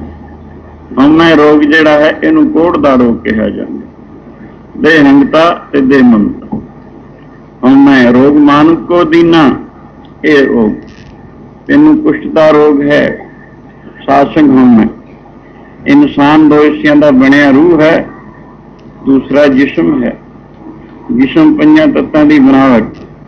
ਰੂਹ ਜਿਹੜੀ ਹੈ, ਇਹ ਪ੍ਰਮਾਤਮਾ ਦੀ ਅੰਸ਼ ਹੋਣ ਕਰਕੇ ਕੌਸ਼ ਵੀਰੇ ਰਾਮ ਕੀ ਅੰਸ਼ ਅਵਨਾਸ਼ੀ ਵਸਤੂ ਹੈ।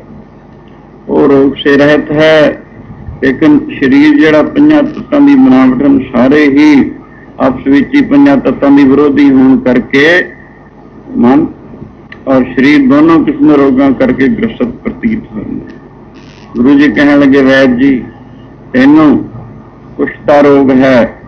ਸਾਸੰਗ ਹੋਮੇ ਦਾ ਰੋਗ ਕੋੜ ਦਾ ਰੋਗ ਦੱਸਿਆ ਹੋਇਆ ਹੈ।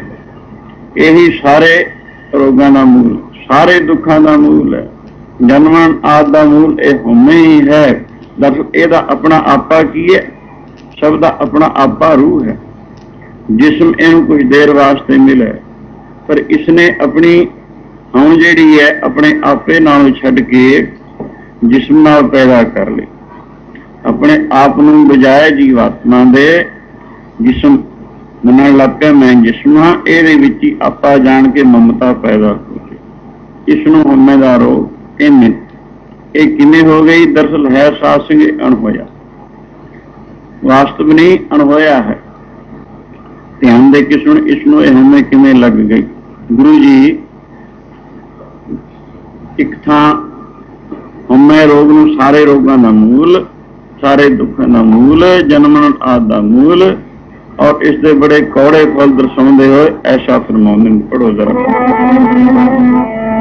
ਜਮਦਾ ਤੇ ਮਰਦਾ ਹੈ ਹੂਏ ਦਾ ਬਚਿਆ ਹੋਇਆ ਜਮਦਾ ਤੇ ਮਰਦਾ ਹੈ ਹੂਏ ਦਾ ਬਚਿਆ।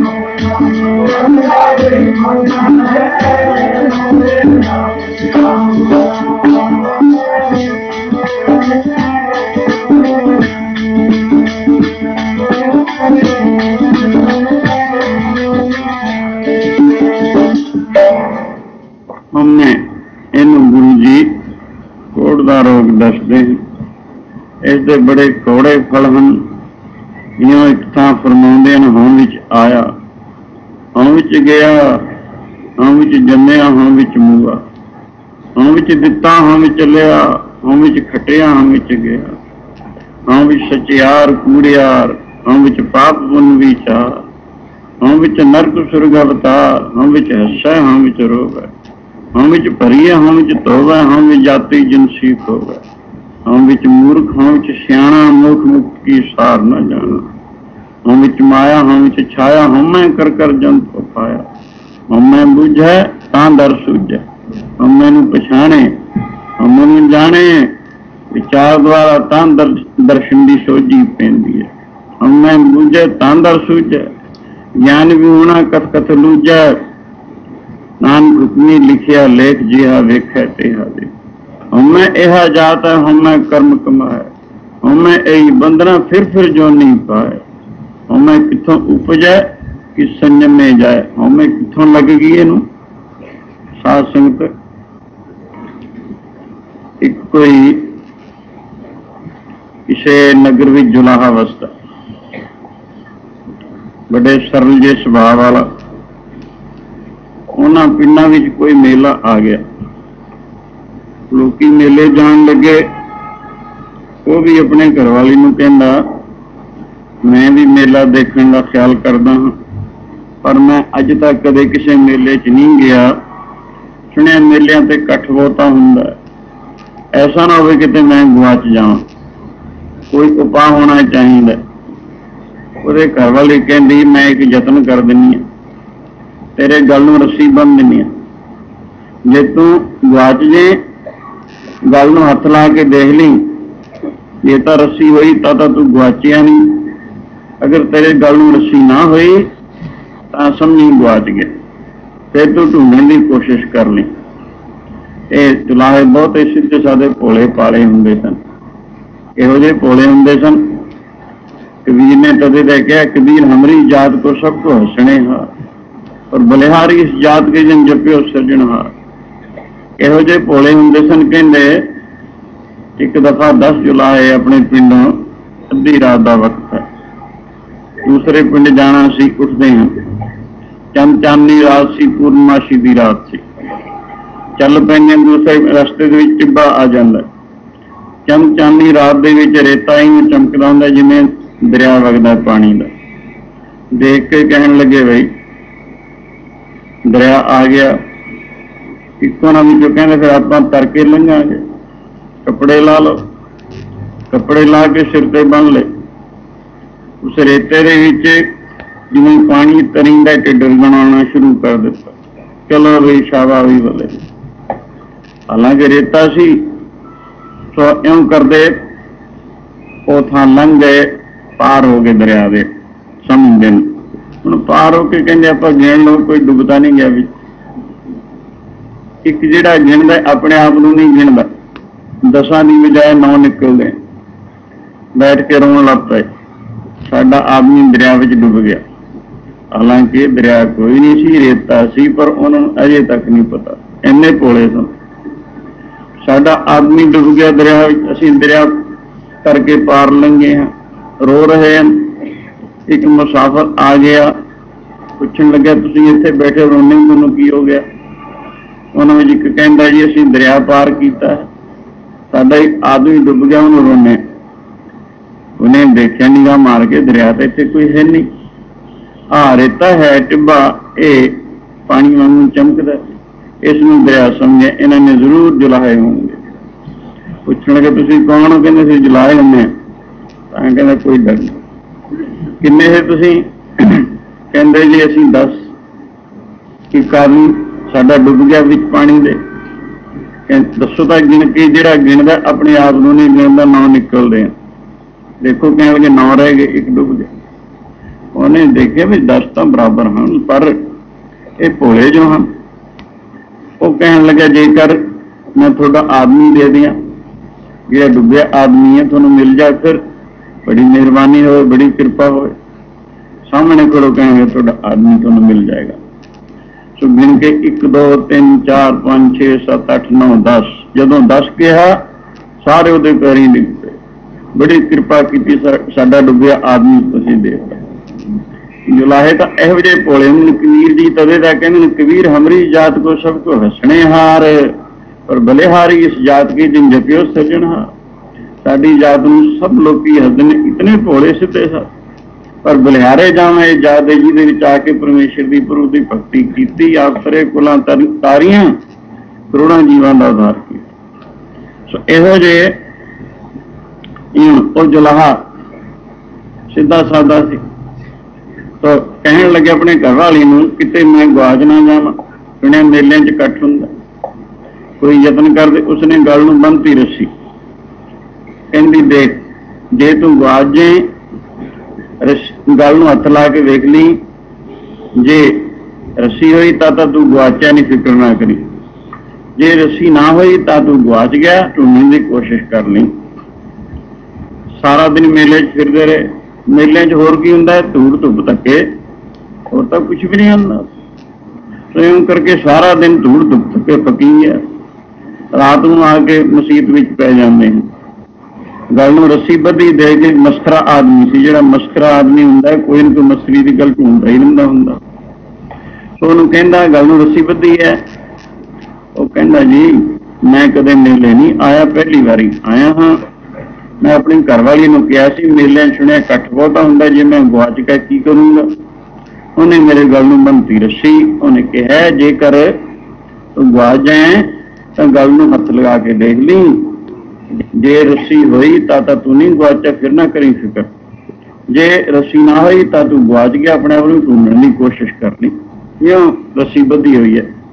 ਮਸਕਰਾ ਆਦਮੀ ਕੋਈ ਨਾ ਕੋਈ ਗੱਲ ਇਹ ਜੀ ਢੂੰਡਦਾ ਹੀ ਰਹਿੰਦਾ ਉਹਨੂੰ ਗੱਲ ਲੱਭ ਗਈ। ਸੋ ਜਦੋਂ ਸੌਂ ਗਿਆ, ਉਸਨੇ ਉਹਦੇ ਗਲ ਨਾਲ ਰੱਸੀ ਖੋਲ ਕੇ ਦੂਜੇ ਦੇ ਗਲ ਨਾਲ ਬੰਨ੍ਹ ਇਹਨਾਂ ਲੋਕਾਂ ਦੀ ਨੀਂਦ ਇਹ ਜੀ ਹੁੰਦੀ ਹੈ।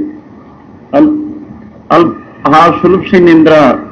ਭਜਨ ਕਰਨ ਵਾਲੇ ਨੂੰ ਜਿਹਨਾਂ ਦੀ ਜਿਤਨੀ ਵੀ ਖੁਰਾਕ ਸੂਖਸ਼ਮ ਹੁੰਦੀ ਹੈ, ਉਹਨੂੰ ਨੀਂਦ ਵੀ ਸੂਖਸ਼ਮ ਹੋ ਜਾਂਦੀ ਹੁੰਦੀ ਹੈ। ਜਿਤਨੀ ਕਿਸੇ ਦੀ ਖੁਰਾਕ ਜ਼ਿਆਦਾ ਡਾਢੀ, ਉਤਨੀ ਉਹਦੀ ਨੀਂਦ ਵੀ ਇਹੀ ਹੁੰਦੀ ਹੈ। ਪਿੰਡਾਂ ਦੇ ਜਿਹੜੇ ਖੇਤੀਪਤੀ ਦਾ ਕੰਮ ਕਾਰ ਕਰਨ ਵਾਲੇ ਜ਼ਿਮੀਂਦਾਰਾਂ ਕੋਲ ਲੋਕੀ ਅੱਠ, ਉੱਠ ਬੈਲ ਖੋਲ ਕੇ ਲੈ ਜਾਣ, ਪਤਾ ਹੀ ਨਹੀਂ ਲੱਗਦਾ ਹੁੰਦਾ। ਕਿਹੜੀ ਜੀ ਨੀਂਦ ਹੁੰਦੀ ਹੈ। ਪੰਜੇ ਚੱਕ ਕੇ ਭਰਾ ਰੱਖਦੇ ਨੇ, ਕੋਈ ਪਤਾ ਨਹੀਂ ਲੱਗਣਾ।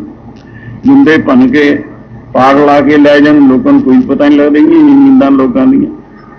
ਸੰਯੋਗ ਕਰਕੇ ਸੂਖਸ਼ਮ ਨਹੀਂ ਤਾਂ ਸੂਖਸ਼ਮ ਆਹਾਰੀ ਪੁਰਸ਼ ਦੀ ਹੋਇਆ ਕਰਦੀ ਹੈ।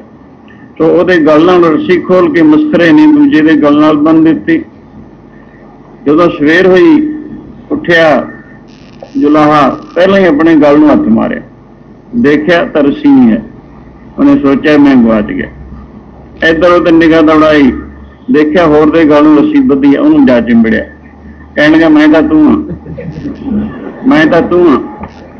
ਸਾਰੇ ਲੋਕਾਂ ਵਿੱਚ ਅਜੀਬ ਖੇਲ ਬਣੀ, ਮੈਂ ਤਾਂ ਤੂੰ ਇਸੇ ਤਰ੍ਹਾਂ ਜਿਵੇਂ ਉਸ ਮਸਖਰੇ ਨੇ, ਉਹ ਜੁਲਾਹੇ ਦੇ ਗਲ ਦੀ ਰੱਸੀ ਖੋਲ ਕੇ ਦੂਸਰੇ ਦੇ ਗਲ ਨੂੰ ਬੰਨਤੀ ਸੀ, ਉਹ ਕਹਿੰਦਾ ਸੀ, ਮੈਂ ਤਾਂ ਤੂੰ ਹਾਂ। ਇਸੇ ਤਰ੍ਹਾਂ ਅਗਿਆਨ ਰੂਪੀ ਮਸਖਰੇ ਨੇ, ਇਸ ਦੀ ਜੀਵਾਤਮਾ ਦੀ ਮੈਂ ਹਟਾ ਕੇ ਦੇਹ ਨੂੰ ਲਗਾ ਦਿੱਤੀ। ਇਹ ਕਹਿਣ ਲੱਗਿਆ, ਮੈਂ ਸਾਢੇ ਤਿੰਨ ਦਾ ਦੇਹ ਮਾਤਰ ਹਾਂ, ਇਹਦੇ ਵਿੱਚ ਹੀ ਆਪਾ ਜਾਣ ਕੇ ਦੀ ਮਮਤਾ ਹੋ ਗਈ। ਦਰਅਸਲ ਇਸ ਨੂੰ ਹਉਮੈ ਕਿਹਾ ਜਾਂਦਾ ਹੈ? ਹਉਮੈ ਕਿੱਥੋਂ ਉਪਜੈ? ਕਿ ਸੰਜਮੇ ਜਾਏ ਹਉਮੈ? ਉਹ ਹੁਕਮ ਪਿਆ ਕਿ ਇਹ ਹਉਮੈ ਜਿਹੜਾ ਇਸ ਨੂੰ ਕੋੜ ਦੱਸਿਆ ਗੁਰੂ ਜੀ। ਨੇ। ਹਉਮੈ ਦੇਹ ਧਾਰ ਕੇ ਬਾਰ-ਬਾਰ ਜੰਮਦਾ ਮਰਦਾ, ਹਉਮੈ ਦੇ ਅਧੀਨ ਹੀ ਜੰਮਦਾ ਮਰਦਾ ਹੈ। ਦੇਹ ਧਾਰ ਕੇ ਕਿਤੇ ਦੁੱਖ ਪਾਉਂਦਾ, ਸਾਰੀ ਜਾਣਦੇ। ਆਦ ਵਿਆਦ ਉਪਾਦ ਤਿੰਨਾਂ ਤਾਪਾਂ ਦਾ ਸ਼ਿਕਾਰ ਹੁੰਦਾ ਰਹਿੰਦਾ ਆਸਾ ਤ੍ਰਿਸ਼ਨਾ ਚਿੰਤਾ ਨੂੰ ਆ ਚੰਬੜਦੀਆਂ ਹਨ। ਕਾਮ ਕ੍ਰੋਧ ਮਹੰਕਾਰ ਨੂੰ ਸਤਾਉਂਦੇ ਹਨ। ਸ਼ਬਦ ਸਪਰਸ਼ ਰੂਪ ਰਸ ਕਹਿੰਦੇ ਨੂੰ, ਦੁੱਖ ਦਿੰਦੇ ਹਨ। ਅਵਿਦਿਆ ਸਮਤਾ ਰਾਗ ਦਾ ਪਿਨਵੇਸ਼ ਪੰਜ ਕਲੇਸ਼ ਆ ਚਿੰਬੜ ਕਿੰਨੇ ਕੁ ਦੁੱਖ ਗਿਣੇ ਜਾਣ, ਬੜਾ ਭਾਰਾ ਦਫ਼ਤਰ ਤਿਆਰ ਹੋ ਜਾਂਦਾ। ਤਾਂ ਤੇ ਦੇਹ ਧਾਰ ਕੇ ਕਿਤੇ ਦੁੱਖ ਪਾਉਣੇ ਪੈਂਦੇ, ਹਨ? ਦੇਹ ਧਾਰਨ ਦਾ ਕਾਰਨ ਹੀ ਹਉਮੈ ਹੈ। ਹਉਮੈ ਦਾ ਵਧਿਆ ਹੋਇਆ ਹੀ ਬਾਰ-ਬਾਰ ਜੰਮਦਾ ਔਰ ਮਰਦਾ ਹੈ। ਹਉਮੈ ਇਸ ਨੂੰ ਇਉਂ ਲੱਗੀ, ਅਗਿਆਨ ਰੂਪੀ ਮਸਰੇ ਨੇ, ਇਸ ਦੀ ਜੀਵਾਤਮਾ ਦੀ ਮੈਂ ਇਹਦੇ ਨਾਲ ਲਾ ਕੇ ਦੇਹ ਦੇ ਨਾਲ ਜੋੜ ਦਿੱਤੀ। ਇਹ ਕਹਿਣ ਲੱਗਾ, ਮੈਂ ਤਾਂ ਸਾਢੇ ਤਿੰਨ ਦਾ ਦੇਹ ਮਾਤਰ ਹਾਂ। ਇਹਦੇ ਵਿੱਚ ਇਸ ਦੀ ਮਮਤਾ ਹੋਗੀ ਦਰਅਸਲ ਇਸ ਨੂੰ ਹਉਮੈ ਕਿਹਾ ਜਾਂਦਾ ਹੈ? ਜੰਮਦਾ ਤੇ ਮਰਦਾ ਹੈ, ਹਉਮੈ ਦਾ ਬੰਦਿਆ ਜੰਮਦਾ ਤੇ ਮਰਦਾ ਹੈ ਹਉਮੈ ਦਾ ਬੰਦਿਆ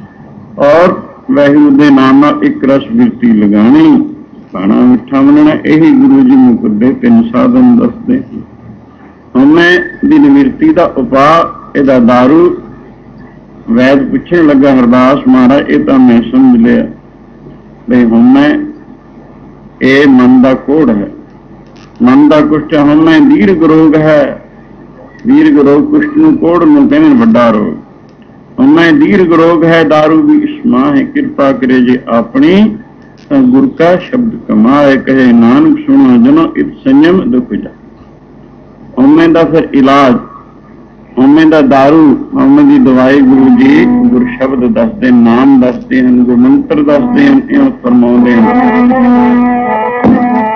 ਹਉਮੈ ਨੂੰ ਪੁਈਂਦਾ ਵਾਹਿਗੁਰੂ, ਮਨ ਜਪੇ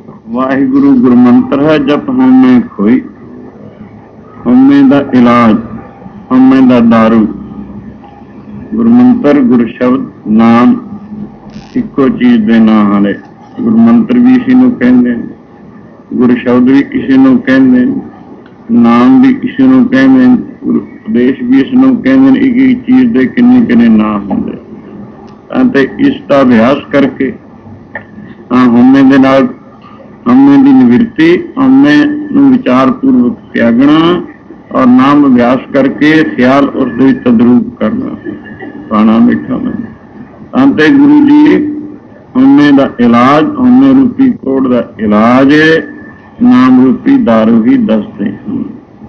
ਸੋ ਇਸ ਕਰਕੇ ਆਓ ਸਾਧ ਸਿੰਘ ਇਹ ਕੀ ਦਰਸਲ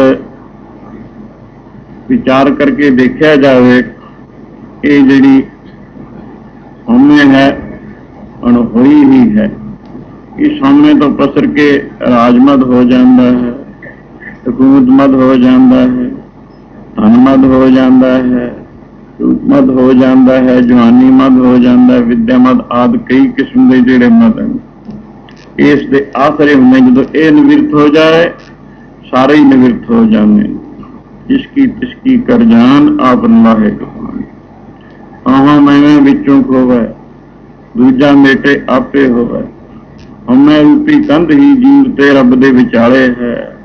ਕਹਾਂ ਭੀਤ ਪਈ ਹੈ ਵਿੱਚੋਂ? ਭਾਂਗੀਰੀ ਕੇ ਪਾਤ ਪਾਰ ਦੋ ਬਿਨ ਪੇਖੇ ਦੂਰ ਆਇਓ ਇਸ ਨੂੰ ਕਈ ਤਰੀਕੇ ਸੇ ਨਿਰੂਪਣ ਕੀਤਾ ਹੈ। ਨਾਮ ਅਭਿਆਸ ਦੀ ਕਮਾਈ ਕਰਕੇ ਇਸ ਨੂੰ ਦੂਰ ਕੀਤਾ ਜੇ ਵੈਸੇ ਤਾਂ ਤਿੰਨ ਹਿੱਸੇ ਨੇ ਇਸ ਤੇ ਮਿੱਟੀ ਦੇ ਨਿਰਮਾਣ ਹੋ ਕੇ ਸੇਵਾ ਕਰਨੀ। ਜਿਸ ਕਾਮ ਹੋ ਕੇ ਬਿਰਤੀ ਦੀ ਇਕਾਗਰਤਾ ਸ਼ਬਦ ਦੇ ਵਿੱਚ, ਨਾਮ ਦੇ ਵਿੱਚ ਕਰਨੀ, ਬਾਰ-ਬਾਰ ਅਭਿਆਸ ਕਰਕੇ ਬਿਰਤੀ ਨੂੰ ਸ਼ਬਦ ਦੇ ਵਿੱਚ ਲੀਨ ਕਰਨਾ। ਜਦੋਂ ਇਹ ਹੋ ਜਾਏ, ਤੀਜਾ ਜਿਹੜਾ ਥੋੜੀ ਬਹੁਤੀ ਰਹਿ ਜਾਂਦੀ ਹੈ, ਉਹ ਗਿਆਨ ਦੁਆਰਾ ਬਿਲਕੁਲ ਨਿਵਰਤ ਹੋ ਜਾਂਦੀ ਹੈ। ਹਉਮੈ ਤੋਂ ਰਹਿਤ ਹੋ ਕੇ ਇਹ ਜੀਵ ਇਸ ਪਰਮੇਸ਼ਰ ਤੇ ਵਿਚੜਿਆ ਉਹਦਾ ਰੂਪ ਹੀ ਬਣ ਜਾਂਦਾ ਹੈ। ਮਾਨਵੇ ਇਹ ਹਉਮੈ ਦਾ ਰੋਗ ਕਟਿਆ ਗਿਆ ਤਾਂ ਉਹਦਾ ਜਨਮ ਮਰਨ ਨਿਵਰਤ ਹੋ ਗਿਆ। ਜਨਮ ਮਰਨ ਨਿਵਰਤ ਹੋ ਗਿਆ, ਜਿਹੜੇ ਦੇਹ ਧਾਰ ਕੇ ਦੁੱਖ ਪਾਉਣੇ ਸਾਰੇ ਕੁਦਰਤੀ ਨਿਵਰਤ ਹੋ ਜਾਂਦੇ ਹਨ। ਤਾਂ ਤੇ ਆਓ ਸਾਸਿੰ, ਇਹ ਹਉਮੈ ਦਾ ਰੋਗ ਗੁਰੂ ਜੀ ਨੇ ਜਿਹੜਾ ਦੱਸਿਆ ਹੈ, ਇਹ ਜੀਵ ਨੂੰ ਬੜਾ ਦੁਖੀ ਕਰਦਾ, ਇੱਥੇ ਵੀ, ਉੱਥੇ ਵੀ। ਤਾਂ ਤੇ ਵਿਚਾਰ ਕਰਕੇ ਇਸ ਨੂੰ ਦੂਰ ਕਰਨਾ ਨਾਮ ਅਭਿਆਸ ਦੀ ਕਮਾਈ ਕਰਕੇ ਤੇ ਇਹ ਇਹਦੀ ਕਲਿਆਣ ਦਾ ਉਪਾਅ ਹੈ। ਕਲਿਆਣ ਦਾ ਸਾਧਨ ਇੱਕੋ ਹੀ ਬਹੁਤ ਵੱਡੇ ਦੇਸ਼ ਦਾ ਰਾਜਾ ਜਿਸ ਨੂੰ ਬੇਅੰਤ ਜਿਸਮਾਨੀ ਸੁਖ ਪ੍ਰਾਪਤ ਹਨ। ਇੱਕ ਸੁਖ ਅਜੇ ਭੋਗ ਕੇ ਨਹੀਂ ਹਟਦਾ, ਦੂਸਰਾ ਤਿਆਰ ਹੁੰਦਾ। ਕਿਸੇ ਤਰ੍ਹਾਂ ਉਹ ਦੇ ਚਿੱਤ ਵਿੱਚ ਇਹਨਾਂ ਦੁਨਿਆਵੀ ਪਦਾਰਥਾਂ ਨੇ ਸ਼ਾਂਤ ਨਾ ਦਿੱਤੀ। ਕਿਉਂਕਿ ਇਹਨਾਂ ਦੇ ਵਿੱਚ ਦਰਸਲ ਸ਼ਾਂਤ ਹੈ ਨਹੀਂ ਸਾਧ ਸਿੰਘ ਇਹਨਾਂ ਦੇ ਦੋ ਫਲ ਹਨ, ਦੁਨਿਆਵੀ ਪਦਾਰਥਾਂ ਦੇ ਅਤ੍ਰਿਪਤੀ ਔਰ ਰਾਗ ਦ્વੈਸ਼ ਜਿੱਥੇ ਅਤ੍ਰਿਪਤੀ ਹੋਵੇ, ਰੱਜ ਨਾ ਆਉਣਾ, ਰਾਗ ਨਾ ਪਿਆਰ ਦਾ ਦੁਆਇਸ਼ ਨਾ ਵਿਰੋਧ ਦਾ। ਜਿਸ ਅੰਤਕਣ ਵਿੱਚ ਇਹ ਦੋਵੇਂ ਗੱਲਾਂ ਹੁੰਦੀਆਂ ਨੇ, ਉੱਥੇ ਸ਼ਾਂਤ ਨਹੀਂ ਹੋਇਆ ਕਰ। ਸੋ ਇਹਨਾਂ ਪਦਾਰਥਾਂ ਦੀ ਕਿਤਨੀ ਬਹੁਲਤਾ ਹੋਣ ਦੇ ਬਾਵਜੂਦ ਵੀ ਉਹ ਰਾਜੇ ਦੇ ਚਿੱਤ ਨੂੰ ਕਿਸੇ ਦੀ ਤ੍ਰਿਪਤੀ ਨਾ ਹੋਣ ਕਰਕੇ, ਪੂਰਨ ਸੁਖ ਦੀ ਪ੍ਰਾਪਤੀ ਨਾ ਹੋਣ ਕਰਕੇ ਜ਼ਿਆਦਾ ਦੁਖੀ ਹੁੰਦਾ ਚਲਾ ਗਿਆ। ਅਖੀਰ ਉਹਦੇ ਚਿੱਤ ਵਿੱਚ ਵੈਰਾਗ ਹੋ ਗਿਆ। ਉਹ ਚਾਹੁੰਦਾ ਹੈ, ਮੈਂ ਕਿਸੇ ਵਿਨਾਸ਼ੀ ਸੁਖ ਨੂੰ ਪ੍ਰਾਪਤ ਹੋਵਾਂ। ਜਿਸ ਸੁਖ ਦੇ ਵਿੱਚ ਦੁੱਖ ਦਾ ਨਾਮ ਨਿਸ਼ਾਨ ਨਹੀਂ, ਉਸ ਨੂੰ ਪ੍ਰਾਪਤ ਕਰਕੇ ਮੈਂ ਪੂਰਨ ਸੁਖੀ ਹੋ ਜਾ ਸਾਸੰਗ ਯੁਗਾ ਜੁਗਾਂਤਰਾਂ ਤੋਂ ਇਨਸਾਨ ਦੇ ਚਿੱਤ ਵਿੱਚ ਜ਼ਿਆਦਾ ਸੁਖੀ ਹੋਵਾਂ, ਹੋਰ ਸੁਖੀ ਹੋਵਾਂ ਇਦੋਂ ਵੀ ਜ਼ਿਆਦਾ ਸੁਖੀ ਹੋਵਾਂ, ਇਹ ਲਾਲਸਾ ਲੱਗੀ ਚਲੀ ਆ ਰਹੀ ਹੈ। ਸੋ ਇਉਂ ਕਰਕੇ ਇਸੇ ਵਾਸਤੇ ਇਹਦੀ ਕੋਸ਼ਿਸ਼ ਰਹੀ ਜੀ ਹੈ। ਪਰ ਉਹ ਇੱਕੋ ਹੀ ਸੁਖ ਹੈ ਵਿਨਾਸ਼ੀ ਸੁਖ ਜਿਸ ਨੂੰ ਪਾ ਕੇ ਇਹਦੀਆਂ ਸਾਰੀਆਂ ਇੱਛਾਵਾਂ ਖਤਮ ਹੋ ਜਾਂਦੀਆਂ। ਉਹਦੇ ਵਿੱਚ ਸਾਰੀਆਂ ਖਾਸ਼ਾਤ ਲੈ ਹੋ ਜਾਂਦੀਆਂ। ਦੁਨਿਆਵੀ ਪਦਾਰਥਾਂ ਵਿੱਚ ਇਹ ਖਾਸ਼ਾਤ ਵਧੀ ਜਾਂਦੀਆਂ ਹਨ। ਵਾਦੀ ਕਿਹੜੀ ਚੀਜ਼ ਹੈ? ਰਾਜਾ ਨੇ ਸਵਾਲ ਕੀਤਾ ਵਜ਼ੀਰ ਦੇ ਪਾਸ, ਦਿਨ ਬ ਦਿਨ ਵੱਧਦੀ ਕਿਹੜੀ ਚੀਜ਼ ਹੈ? ਉਹ ਕਹਿੰਦਾ, ਤ੍ਰਿਸ਼ਨਾ ਵਧੀ ਜਾਂਦੀ ਹੈ। ਤ੍ਰਿਸ਼ਨਾ ਵਧੀ ਹੀ ਜਾਂਦੀ ਹੈ, ਇਹਦਾ ਸੁਭਾਅ ਹੈ। ਘਟਦੀ ਕਿਹੜੀ ਚੀਜ਼ ਹੈ? ਘਟਦੀ ਹੈ ਉਮਰ। ਜਿਸ ਦਿਨ ਤੋਂ ਜਨਮ ਹੋ ਜਾਂਦਾ, ਉਸੇ ਦਿਨ ਤੋਂ ਉਮਰ ਘਟਣ ਲੱਗ ਜਾਂਦੀ ਇਸ ਕਰਕੇ ਇਉਂ ਉਸ ਦੇ ਚਿੱਤ ਵਿੱਚ ਵੈਰਾਗ ਲੱਗ ਗਿਆ। ਚਾਹੁੰਦਾ ਹੈ, ਕਿਸੇ ਇਕਾਂਤ ਥਾਂ ਬੈਠ ਕੇ ਗੁਰੂ ਦੇ ਵਿੱਚ ਵਿਰਤੀ ਲਗਾ ਕੇ ਆਪਣੇ ਖਿਆਲ ਨੂੰ ਜਿਹੜਾ ਦੁੱਖਾਂ ਸੁੱਖਾਂ ਦਾ ਮੂਲ ਹੈ, ਸੋ ਆਨੰਦ ਦੇ ਸਾਗਰ ਵਿੱਚ ਜੋੜ ਕੇ ਉਹ ਬਣਾ ਦਿੱਤਾ ਜਾਏ। ਸੋ ਸਭ ਕੁਝ ਛੱਡਣ ਵਾਸਤੇ ਹਜ਼ਾਰਾਂ ਮਰਬਾ ਮੀਲ ਦਾ ਰਾਜ ਭਾਗ ਸਭ। ਗੋਸ਼ਾ ਕੁਨ ਇਖਤਿਆਰ ਕਰਨ ਵਾਸਤੇ ਜਦੋਂ ਜਾਣ ਲੱਗਾ ਉਸ ਦੀ ਰਾਣੀ ਬੜੀ ਸਮਝ ਵਾਲੀ ਸੀ। ਉਹ ਕਹਿਣ ਲੱਗੀ, ਰਾਜਨ, ਬਾਹਰ ਜਾਣ ਦੀ ਲੋੜ ਨਹੀਂ। ਜਿਸ ਵਸਤੂ ਦੀ ਪ੍ਰਾਪਤੀ ਵਾਸਤੇ ਤੁਸੀਂ ਬਾਹਰ ਜਾਂਦੇ ਹੋ, ਕਿਤਨਾ ਵੱਡਾ ਰਾਜ ਭਗ ਛੱਡ ਰਹੇ ਹੋ, ਉਹ ਤੁਸੀਂ ਇਹਦੇ ਵਿੱਚ ਹੀ ਰਹਿ ਕੇ ਪ੍ਰਾਪਤ ਕਰ ਸਕਦੇ ਹੋ। ਪਰ ਸਾਧ ਸਿੰਘ ਵੈਰਾਗ ਦੀ ਲਹਿਰ ਵਿੱਚ ਉਹਦਾ ਮਨ ਇਤਨਾ ਰੁੜਿਆ ਜਾਂਦਾ ਸੀ, ਉਹ ਕਿਸੇ ਦੀ ਗੱਲ ਮੰਨਣ ਨੂੰ ਤਿਆਰ ਨਹੀਂ ਸੀ, ਕਹਿਣ ਲੱਗਾ, ਮੈਂ ਤੈਨੂੰ ਮੁਰਸ਼ਿਦ ਮੰਨਣ ਨੂੰ ਤਿਆਰ ਨਹੀਂ ਹਾਂ। ਮਤ ਬੋਲ, ਛੱਡ ਛਡਾ ਕੇ, ਕਿਸੇ ਇਹੋ ਜਿਹੇ ਥਾਂ ਜਾ ਕੇ ਬੈਠ ਜਾਂਦੇ ਕਿ ਝੀਲ ਦੇ ਕਿਨਾਰੇ। ਜਿੱਥੇ ਆਦਮੀ ਤਾਂ ਆਦਮੀ ਚਿੜੀ ਪਰਿੰਦ- ਪਰਿੰਦੇ ਦਾ ਵੀ ਨਾਮ ਨਿਸ਼ਾਨ ਨਹੀਂ ਸੀ ਦਿੰਦਾ। ਬੜੀ ਦੇਰ ਤੱਕ ਉੱਥੇ ਬੈਠ ਕੇ ਉਸਨੇ ਭਜਨ ਕੀਤਾ ਤਪੱਸਿਆ ਕੀਤੀ ਸਮਾਧੀਆਂ ਲਗਾਈਆਂ। ਸੋ ਕਈ ਸਾਲ ਗੁਜ਼ਰ ਗਏ ਇਸੇ ਤਰ੍ਹਾਂ, ਪਰ ਅਜੇ ਉਸ ਪੂਰਨ ਸੁਖ ਦੀ ਪ੍ਰਾਪਤੀ ਨਾ ਹੋਈ। ਅਜੇ ਵੀ ਖਾਲੀਪਨ ਦੇਖਿਆ। ਜਦੋਂ ਆਪਣੀ ਬਿਰਤੀ ਨੂੰ ਬਾਹਰੋਂ ਰੋਕ ਕੇ ਸਮਾਧਿਸ਼ਟ ਹੁੰਦਾ ਸਮਾਧੀ ਲਗਾਉਂਦਾ। ਬਿਰਤੀ ਬਿਲਕੁਲ ਟਿਕ ਜਾਂਦੀ ਹੈ। ਉਸ ਮੌਕੇ ਬਹੁਤ ਸੁਖੀ ਹੁੰਦਾ ਹੈ। ਪਰ ਸਰੀਰ ਦੀ ਕਿਰਿਆ ਸ਼ਿਰਿਆ ਵੀ ਕੁਛ ਨੂੰ ਕਰਨੀ ਪੈਂਦੀ ਹੈ। ਨਹਾਉਣਾ, ਧੋਣਾ, ਕੁਛ ਨੂੰ ਕੁਛ ਇਹਦਾ ਕਰਨਾ ਹੀ ਪੈਂਦਾ ਜਦੋਂ ਉੱਥੋਂ ਬਿਰਤੀ ਉਤਾਰਦਾ ਹੈ, ਫਿਰ ਇਸ ਨੂੰ ਸੰਸਾਰ ਪਾਸ ਕੇ ਉਹੀ ਮਨ ਦੇ ਤਰੰਗ ਫੇਰ ਸ਼ੁਰੂ ਹੋ ਜਾਂਦੇ ਹਨ। ਇਸ ਕਰਕੇ ਇਹ ਬੜਾ ਦੁੱਖ ਮਹਿਸੂਸ ਹੋ ਰਿਹਾ ਹੈ। ਇੱਕ ਦਿਨ ਝੀਲ ਦੇ ਕਿਨਾਰੇ ਸ਼ਿਲਾ ਸੀ, ਉਹਦੇ ਉੱਪਰ ਆਸਣ ਦੇ ਉੱਪਰ ਚੌਂਕੜਾ ਲਗਾਈ, ਸਮਾਧਿਸ਼ਟ ਬੈਠਾ ਹੈ, ਸਮਾਧੀ ਦੇ ਵਿੱਚ ਜੁੜਿਆ ਬੈਠਾ ਇੱਕ ਕੋਈ ਮਹਾਤਮਾ ਆ ਜਾਂਦੇ ਹਨ, ਸਾਹਮਣੇ ਬੈਠ ਜਾਂਦੇ ਹਨ ਕੁਝ ਫਾਸਲੇ ਤੇ। ਕਾਫੀ ਦੇਰ ਤੋਂ ਬਾਅਦ ਜੋ ਸਮਾਧੀ ਤੋਂ ਉਤਰਿਆ, ਨੇਤਰ ਖੁੱਲੇ ਕੀ ਦੇਖਿਆ? ਮਹਾਂਪੁਰਖ ਬੈਠੇ ਹਨ। ਬਹੁਤ ਖੁਸ਼ ਹੋਇਆ ਕਿ ਕਿਉਂਕਿ ਕਿਤਨੇ ਸਾਲਾਂ ਦਾ ਉਸਨੇ ਆਦਮੀ ਦਾ ਕੀ ਚਿੜੀ ਪਰਿੰਦੇ ਦਾ ਵੀ ਦਰਸ਼ਨ ਨਹੀਂ ਸੀ ਇਹੋ ਜੀ ਇਕਾਂਤ ਜਗ੍ਹਾ ਢੂੰਡੀ ਸੀ। ਸੋ ਚਾਟੀ ਉੱਠਿਆ, ਮਹਾਤਮਾ ਦੇ ਕਰਨੀ ਲੱਗਿਆ ਕਿ ਬੜੀ ਕਿਰਪਾ ਕੀਤੀ ਆਪਨੇ ਦਰਸ਼ਨ ਦਿੱਤੇ ਹਨ। ਹਾਂ, ਉਹ ਕਹਿਣ ਲੱਗੇ, ਹਾਂ, ਇਸੇ ਤਰ੍ਹਾਂ ਹੀ ਮੈਨੂੰ ਪਰਮੇਸ਼ਰ ਨੇ ਪ੍ਰੇਰਿਆ ਹੈ। ਤੇਰੀ ਜਿਹੜੀ ਕੋਈ ਕਮੀ ਹੈ ਉਹਨੂੰ ਪੂਰੀ ਕਰਨ ਵਾਸਤੇ ਮੈਨੂੰ ਪਰਮਾਤਮਾ ਨੇ ਤੇਰੇ ਪਾਸ ਭੇਜਿਆ। ਸੋ ਦੱਸ ਕੀ ਕੁਝ ਕਮੀ ਹੈ? ਕਹਿਣ ਲੱਗਾ, ਜਿਸ ਵਕਤ ਮੈਂ ਆਪਣੀ ਬਿਰਤੀ ਨੂੰ ਬਾਹਰੋਂ ਰੋਕ ਕੇ ਸਮਾਧਿਸ਼ਟ ਕਰਦਾ, ਅੰਤਰਮੁਖ ਕਰਦਾ ਹਾਂ, ਬਿਰਤੀ ਟਿਕੀ ਰਹਿੰਦੀ ਹੈ, ਬੜਾ ਸੁਖ ਰਹਿੰਦਾ। ਪਰ ਜਿਸ ਵਕਤ ਬਿਰਤੀ ਨੂੰ ਉਤਾਰ ਕੇ ਕੋਈ ਨਾ ਕੋਈ ਸਰੀਰ ਦਾ ਕਿਰਿਆ ਸ਼ਿਰਿਆ ਕਰਨੀ ਪੈਂਦੀ ਹੈ, ਉਸ ਮੌਕੇ ਫਿਰ ਮੈਨੂੰ ਇਹ ਸੰਸਾਰ ਪਾਸ ਕੇ ਫਿਰ ਦੁੱਖ ਰੂਪ ਹੋ ਜਾਂਦਾ। ਫਿਰ ਮੈਂ ਆਪਣੇ ਉਹਨਾਂ ਤਰੰਗਾਂ ਵਿੱਚ ਹੀ ਵਹਿ ਤੁਰਦਾ। ਇਹ ਬੜਾ ਦੁੱਖ ਹੈ। ਇਸ ਕਰਕੇ ਇਹ ਅਵਸਥਾ ਨਹੀਂ ਹੋਣੀ ਚਾਹੀਦੀ, ਇਹ ਵੀ ਨਹੀਂ ਪਾਸਣਾ ਚਾਹੀਦਾ। ਇਹ ਵਚਨ ਸੁਣ ਕੇ ਉਹ ਮਹਾਤਮਾ ਕਹਿਣ ਲੱਗੇ, ਰਾਜਨ, ਅਗਰ ਐਸੀ ਤੇਰੇ ਚਿੱਤ ਵਿੱਚ ਇੱਛਾ ਹੈ, ਤੂੰ ਤਿਆਗ ਕਰ। ਇਹ ਸੁਣ ਕੇ ਬੜਾ ਹੈਰਾਨ ਹੋਇਆ, ਤਿਆਗ? ਬਹੁਤ ਹੈਰਾਨ ਹੋਇਆ ਕਿ ਤਿਆਗ ਮੈਂ ਕਾਹਦਾ ਕਰਾਂ ਹੁਣ? ਹਜ਼ਾਰਾਂ ਮਰਬਾ ਮੀਲ ਦਾ ਮੈਂ ਰਾਜ ਪਾਗ ਛੱਡਿਆ। ਸੋ ਖਜ਼ਾਨੇ ਛੱਡੇ ਪੁਲਿਸ ਸਿਵਲ ਜੋ ਕੁਛ ਸੀ ਫੌਜ ਆਦ ਇਹ ਮਹਿਕਮੇ ਸਾਰੇ ਛੱਡੇ ਰਾਣੀਆਂ ਛੱਡੀਆਂ ਬੱਚੇ ਛੱਡੇ ਸਭ ਕੁਝ ਛੱਡ ਕੇ ਮੈਂ ਕਿਤਨੇ ਸਾਲਾਂ ਦੇ ਇੱਥੇ ਇਕੱਲਾ ਬੈਠਾ ਹਾਂ ਅਜੇ ਹੋਰ ਵੀ ਕੁਝ ਤਿਆਗਣ ਜੋਗੀ ਗੱਲ ਰਹੇਗੀ ਅਜੇ ਮੈਂ ਤਿਆਗੀ ਨਹੀਂ ਹੋਇਆ ਇਹ ਵਚਨ ਸੁਣ ਕੇ ਮਹਾਤਮਾ ਕਹਿਣ ਲੱਗੇ ਅਗਰ ਤੇਰੇ ਚਿੱਤ ਵਿੱਚ ਪੂਰਨ ਸੰਤੁਸ਼ਟ ਹੈ ਕੋਈ ਦੁੱਖ ਨਹੀਂ, ਕੋਈ ਕਮੀ ਨਹੀਂ ਪ੍ਰਤੀਤ ਹੁੰਦੀ, ਤਾਂ ਸਮਝ ਲੈ ਤੂੰ ਪੂਰਾ ਤਿਆਗੀ ਹੈ। ਅਗਰ ਹੈ, ਤਾਂ ਤੂੰ ਤਿਆਗ ਕਰ। ਹੁਣ ਹੈਰਾਨ ਹੁੰਦਾ ਮੈਂ ਕੀ ਤਿਆਗ ਕਰਾਂ?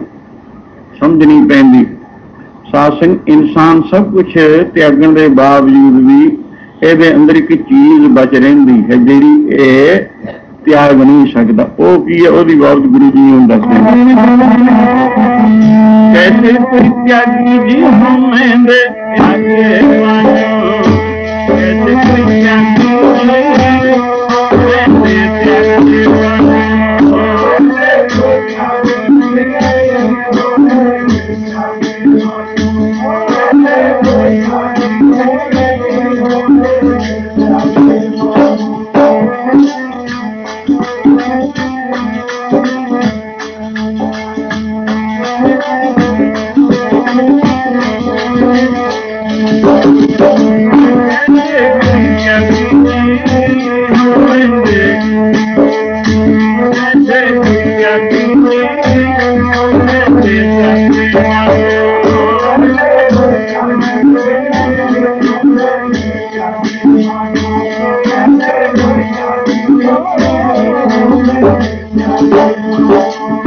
Thank you.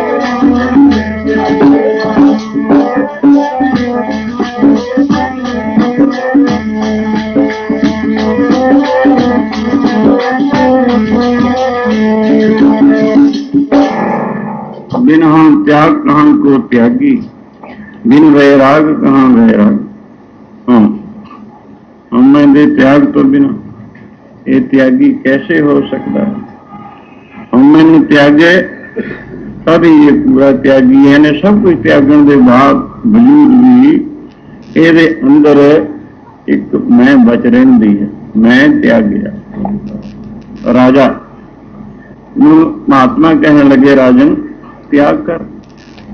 वो कहने लगे, इतना कुछ मैं राजविभूति सब कुछ त्याग के ਗੋਸ਼ਾ ਕੋ ਨੇ ਇਖਤਿਆਰ ਕੀਤੀ ਹੈ। ਅਜੇ ਮੈਂ ਹੋਰ ਕੀ ਤਿਆਗਾਂ? ਉਹ ਕਹਿਣ ਲੱਗੇ, ਤਿਆਗ ਜਿਹੜੀ ਚੀਜ਼ ਤੇਰੇ ਪਾਸ ਬਚਦੀ ਹੋ ਤਿਆਗ। ਹੁਣ ਸੋਚਦਾ ਮੇਰੇ ਪਾਸ ਹੋਰ ਕੀ ਹੈ? ਮਾਲਾ ਹੈ ਐ ਬਰਾਗਣ ਹੈ, ਆਸ਼ਣ ਹੈ ਆ ਗੜਵਾ ਹੈ। ਕਹਿਣ ਲੱਗਾ, ਇਹਨੂੰ ਮੈਂ ਫਿਰ ਛੱਡ ਦਿੰਨਾ ਝੀਲ ਦੇ ਵਿੱਚ। ਮਹਾਤਮਾ ਕਹਿਣ ਲੱਗੇ, ਦੇਖ ਲੈ, ਜੇ ਤੂੰ ਫਿਰ ਵੀ ਤਿਆਗੀ ਹੋ ਜੇ ਤਾਂ। ਇਹ ਚੀਜ਼ਾਂ ਝੀਲ ਦੇ ਵਿੱਚ ਸਾਰੀਆਂ ਛਿੜ ਦਿੱਤੀਆਂ। ਕਹਿਣ ਲੱਗੇ ਹੁਣ ਤਾਂ ਮੈਂ ਤਿਆਗੀ ਹੋ ਗਿਆ। ਮਹਾਤਮਾ ਕਹਿੰਗੇ ਆਪਣੇ ਅੰਦਰ ਝਾਤੀ ਮਾਰ ਲੈ। ਅੰਦਰ ਝਾਤੀ ਮਾਰ ਕੇ ਦੇਖ ਲੈ, ਮੈਨੂੰ ਪੁੱਛਣ ਦੀ ਲੋੜ ਨਹੀਂ। ਜੇਕਰ ਤੈਨੂੰ ਉਹ ਮੁਕੰਮਲ ਅਵਸਥਾ ਪ੍ਰਾਪਤ ਹੋ ਗਈ, ਤਾਂ ਸੱਚਮੁੱਚ ਹੀ ਤੂੰ ਤਿਆਗੀ ਹੋ ਗਿਆ। ਪਰ ਅਜੇ ਉਹ ਅਵਸਥਾ ਨਹੀਂ ਪ੍ਰਾਪਤ ਹੋਈ। ਕਹਿਣ ਲੱਗੇ ਇਹ ਤਾਂ ਦੀ ਗੱਲ ਬਣੀ ਨਹੀਂ। ਕਹਿੰਦੇ ਫਿਰ ਤਿਆਗ ਕਰ। ਫਿਰ ਸੋਚਦਾ ਹੈ, ਹੋਰ ਕੀ ਤਿਆਗਾਂ, ਮੇਰੇ ਪਾਸ ਛਪਰੀ ਨੂੰ ਅੱਗ ਲਾ ਦੇਣਾ ਤੀਲੀ ਘਸਾ ਕੇ ਛਪਰੀ ਨੂੰ ਅੱਗ ਲਾ ਦਿੱਤੀ। ਲੱਕੜ ਮਚ ਗਈ। ਕਹਿੰਦਾ, ਹੁਣ ਤਾਂ ਮੈਂ ਤਿਆਗੀ ਹੋ ਗਿਆ। ਕਹਿਣ ਲੱਗੇ, ਅੰਦਰ ਝਾਤੀ ਮਾਰ ਲੈ। ਮੈਨੂੰ ਪੁੱਛਣ ਦੀ ਲੋੜ ਨਹੀਂ। ਕਹਿਣ ਲੱਗਾ, ਉਹ ਗੱਲ ਨਹੀਂ ਬਣੀ ਜੋ ਮੈਂ ਚਾਹੁੰਦਾ। ਫਿਰ ਤਿਆਗ ਕਰ ਕਹਿਣ ਲੱਗੇ, ਹੁਣ ਸੋਚਿਆ ਮੇਰੇ ਪਾਸ ਕੁਛ ਨਹੀਂ, ਮੇਰੇ ਪਾਸ ਇਹ ਸਰੀਰ ਹੈ, ਇਹਨੂੰ ਫੂਕ ਦੇਣਾ ਸ਼ਾਸਨ ਸ਼ੌਕ ਵਿੱਚ ਆ ਕੇ ਸਰੀਰ ਤੱਕ ਦੀ ਵੀ ਕਿਹੜਾ ਇਨਸਾਨ ਪ੍ਰਵਾਹ ਕਰਦਾ। ਲੱਕੜਾਂ ਇਕੱਠੀਆਂ ਕਰਕੇ ਚਿਖਾ ਬਣਾ ਲਈ। ਹੁਣ ਛਾਲ ਮਾਰਨ ਵਾਸਤੇ ਤਿਆਰ ਹੋ ਗਿਆ। ਜਦੋਂ ਛਾਲ ਮਾਰਨ ਲੱਗਾ, ਮਹਾਤਮਾ ਨੇ ਉਹਦੀ ਬਾਹ ਫੜ ਲਈ। ਕਹਿੰਦੇ, ਦੇਖ, ਜੇ ਤੂੰ ਇਹ ਸਰੀਰ ਨੂੰ ਫੂਕ ਦਿੱਤਾ ਹੈ ਚਿਖਾ ਵਿੱਚ, ਫਿਰ ਵੀ ਤੂੰ ਤਿਆਗੀ ਨਹੀਂ ਹੋ ਸਕੇਗਾ। ਤੇਰੇ ਚਿੱਤ ਵਿੱਚ ਫਿਰ ਵੀ ਮੈਂ ਸਰੀਰ ਨੂੰ ਫੂਕ ਦਿੱਤਾ, ਮੈਂ ਬਚੀ ਰਹੇਗੀ। ਤਾਂ ਤੇ ਜਦੋਂ ਇੰਨੀ ਗੱਲ ਕਹੀ, ਉਹਨੂੰ ਸਮਝ ਪਈ ਕਿਉਂਕਿ ਅਧਿਕਾਰੀ ਸੀ। ਕਹਿਣ ਲੱਗਾ, ਤਿਆਗਣਾ ਤਾਂ ਮੈਂ ਨੂੰ ਹੈ।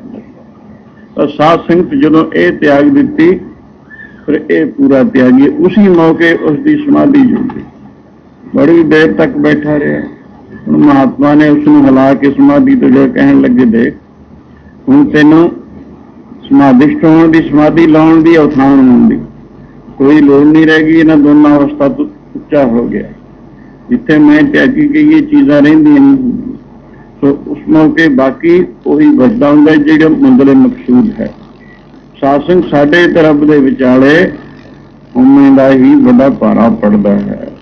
ਆਹਾਂ ਮੈਨੇ ਵਿੱਚੋਂ ਖੋਵਾ ਦੂਜਾ ਮੇਟੇ ਆਪੇ ਹੋ ਜਦੋਂ ਨਾਮ ਅਭਿਆਸ ਕਰਦੇ ਕਰਦੇ ਇਹ ਜਿਹੜੀ ਸ਼ਕਤੀ ਸੁਣਾਈਏ ਥੋੜੀ ਉੱਚ ਅਵਸਥਾ ਦੀ ਗੱਲ ਉਦੋਂ ਹੀ ਸਮਝ ਪੈਂਦੀ ਜਦੋਂ ਇਸ ਅਵਸਥਾ ਦੇ ਵਿੱਚ ਇਹ ਆਉਂਦਾ ਉਸ ਮੌਕੇ ਬਿਲਕੁਲ ਹੀ ਤਿਆਗ ਕਰਕੇ ਅਸਲੀ ਅਵਸਥਾ ਜਿਹੜੀ ਹੈ ਆਨੰਦ ਦਾ ਸਾਗਰ ਵਹਿਗੁਰੂ, ਜਿੱਥੇ ਮੈਂ ਵੀ ਨਹੀਂ ਹੈ, ਉਹਦੇ ਵਿੱਚ ਲੀਨਤਾ ਹਾਸਲ ਕਰਦਾ ਹੈ।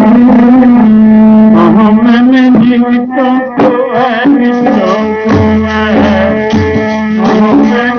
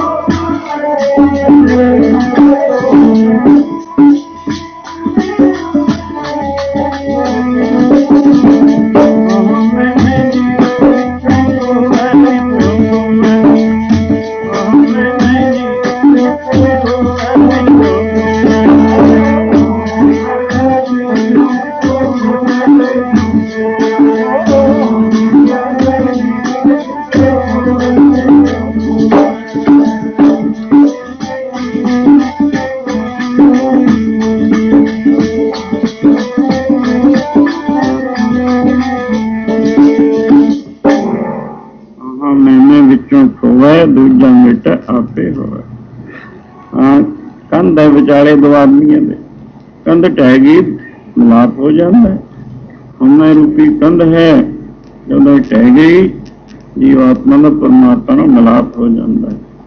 ਤਾਂ ਤੇ ਸਾਸ ਇਹੀ ਹਮੇ ਪਸਰ ਕੇ ਦੂਰ ਤੱਕ ਚਲੀ ਜਾਂਦੀ ਹੈ। ਮੈਂ ਰਾਜਾ ਹਾਂ, ਮੈਂ ਹਾਕਮ ਹਾਂ, ਮੈਂ ਤਨਾੜ ਹਾਂ, ਮੈਂ ਅਮੀਰ ਹਾਂ, ਮੈਂ ਮੇਰਾ ਬਲੀ ਹਾਂ, ਮੈਂ ਵਿਦਵਾਨ ਹਾਂ, ਮੈਂ ਆ ਹਾਂ ਇਹ ਜਿਹਾ ਜਦੋਂ ਮੈਂ ਦੂਰ ਹੋ ਗਈ ਇਹ ਕੀ ਰਹਿ ਗਿਆ ਪਰਮਾਤਮਾ ਹੀ ਬਾਕੀ ਰਹਿੰਦਾ ਤਾਂ ਤੇ ਆਹ ਗੁਰੂ ਜੀ ਇਸ ਹਉਮੈ ਨੂੰ ਤਿਆਗਣ ਵਾਸਤੇ ਬਾਰ-ਬਾਰ ਜ਼ੋਰ ਦਿੰਦੇ ਨੇ ਆਉਂਦਾ ਤਿਆਗਣਾ ਵੈਗੁਰੂ ਦੇ ਨਾਮ ਨਾਲ ਇੱਕ ਕਿਰਤੀ ਲਗਾਉਣ ਦਾ ਅਭਿਆਸ ਕਰਨਾ ਤੇ ਦੁੱਖ ਸੁੱਖ ਦੇ ਧਾਰਨੀ ਆਉਂਦੇ ਹਨ ਉਹ ਪ੍ਰਭੂ ਦਾ ਖਾਣਾ ਜਾਣ ਕੇ ਮਿੱਠਾ ਮਰਨਾ, ਇਹ ਤਿੰਨ ਗੱਲਾਂ ਦਾ ਅਭਿਆਸ ਇਸ ਜੀਵ ਨੂੰ ਮੁਕਤ ਅਵਸਥਾ ਪਹੁੰਚਾਉਂਦਾ ਹੈ, ਇੱਥੇ ਯੂਨਾ ਮੁਕਤ ਹੁੰਦਾ ਹੈ। ਜਦੋਂ ਉਹ ਪੂਰੀ ਹੁੰਦੀ ਹੈ ਇਹ ਦੇ ਧਾਰ ਕੇ ਚੱਕਰ ਵਿੱਚ ਨਹੀਂ ਫਿਰਦਾ, ਸਦਾ ਵਾਸਤੇ ਵੇ ਰੁਚੀ ਰਹਿੰਦਾ ਮਨ ਤਨ ਧਾਰਿਆ ਸੁਖਲਾ ਹੋ ਜਾਂਦਾ ਹੈ, ਅਤੇ ਆਪ ਸਾਤਿੰ ਸ਼ਰਧਾ ਤੇ ਨਿਰਮਾਣਤਾ। ਇਸ ਹਾਂ ਦੇ ਪਸਰ ਕੇ ਵੱਡੇ ਵੱਡੇ ਕਾਰਨਾਮੇ ਹੁੰਦੇ ਨੇ। ਅਗਰ ਇਸ ਇਸ ਨੂੰ ਨਿਰਮੂਲ ਕਰ ਦਿੱਤਾ ਜਾਵੇ ਸਾਰੇ ਦੁਖੀ ਹਟ ਜਾਂਦੇ ਹਨ।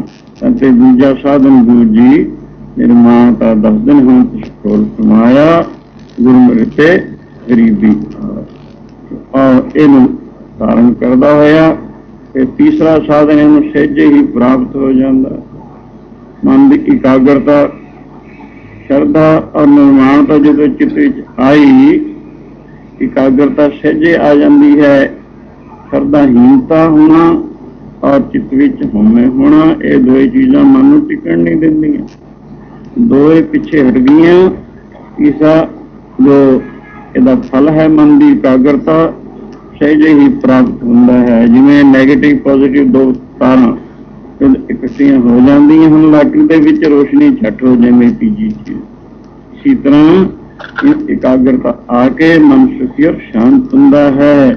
ਤਦੇ ਹੀ ਸਾਨੂੰ ਬਾਰ-ਬਾਰ ਗੁਰੂ ਜੀ ਐਸੇ ਫਰਮਾਉਂਦੇ ਹਨ ਪਰਵ ਕੀ ਉਸਤਤ ਕਰੋ ਸੰਤ ਮੀਤ ਸਾਵਧਾਨ ਇਕਾਗਰ ਕੀਤ ਤੋ ਸ਼ਰਧਾ ਨਿਰਮਾਣਤਾ ਦੁਆਰਾ ਚਿੱਤ ਨੂੰ ਇਕਾਗਰ ਕਰਕੇ ਹਰੀ ਦਾ ਜਸ ਕਰੋ ਵਾਹਿਗੁਰੂ ਦਾ ਭਜਨ ਕਰੋ ਸਿਮਰਨ ਕਰੋ ਬਾਣੀ ਪੜੋ ਤਦ ਹੀ ਜਨਮ ਸੌਖਾ ਸਫਲਾ ਹੋ ਜਾਂਦਾ ਹੈ ਹੁਣ ਗੱਜ ਵੱਜ ਕੇ ਗੁਰੂ ਸਤੋਤਰ ਵਿੱਚ ਧਨ ਹੈ ਧਨ ਹੈ ਧਨ ਹੈ।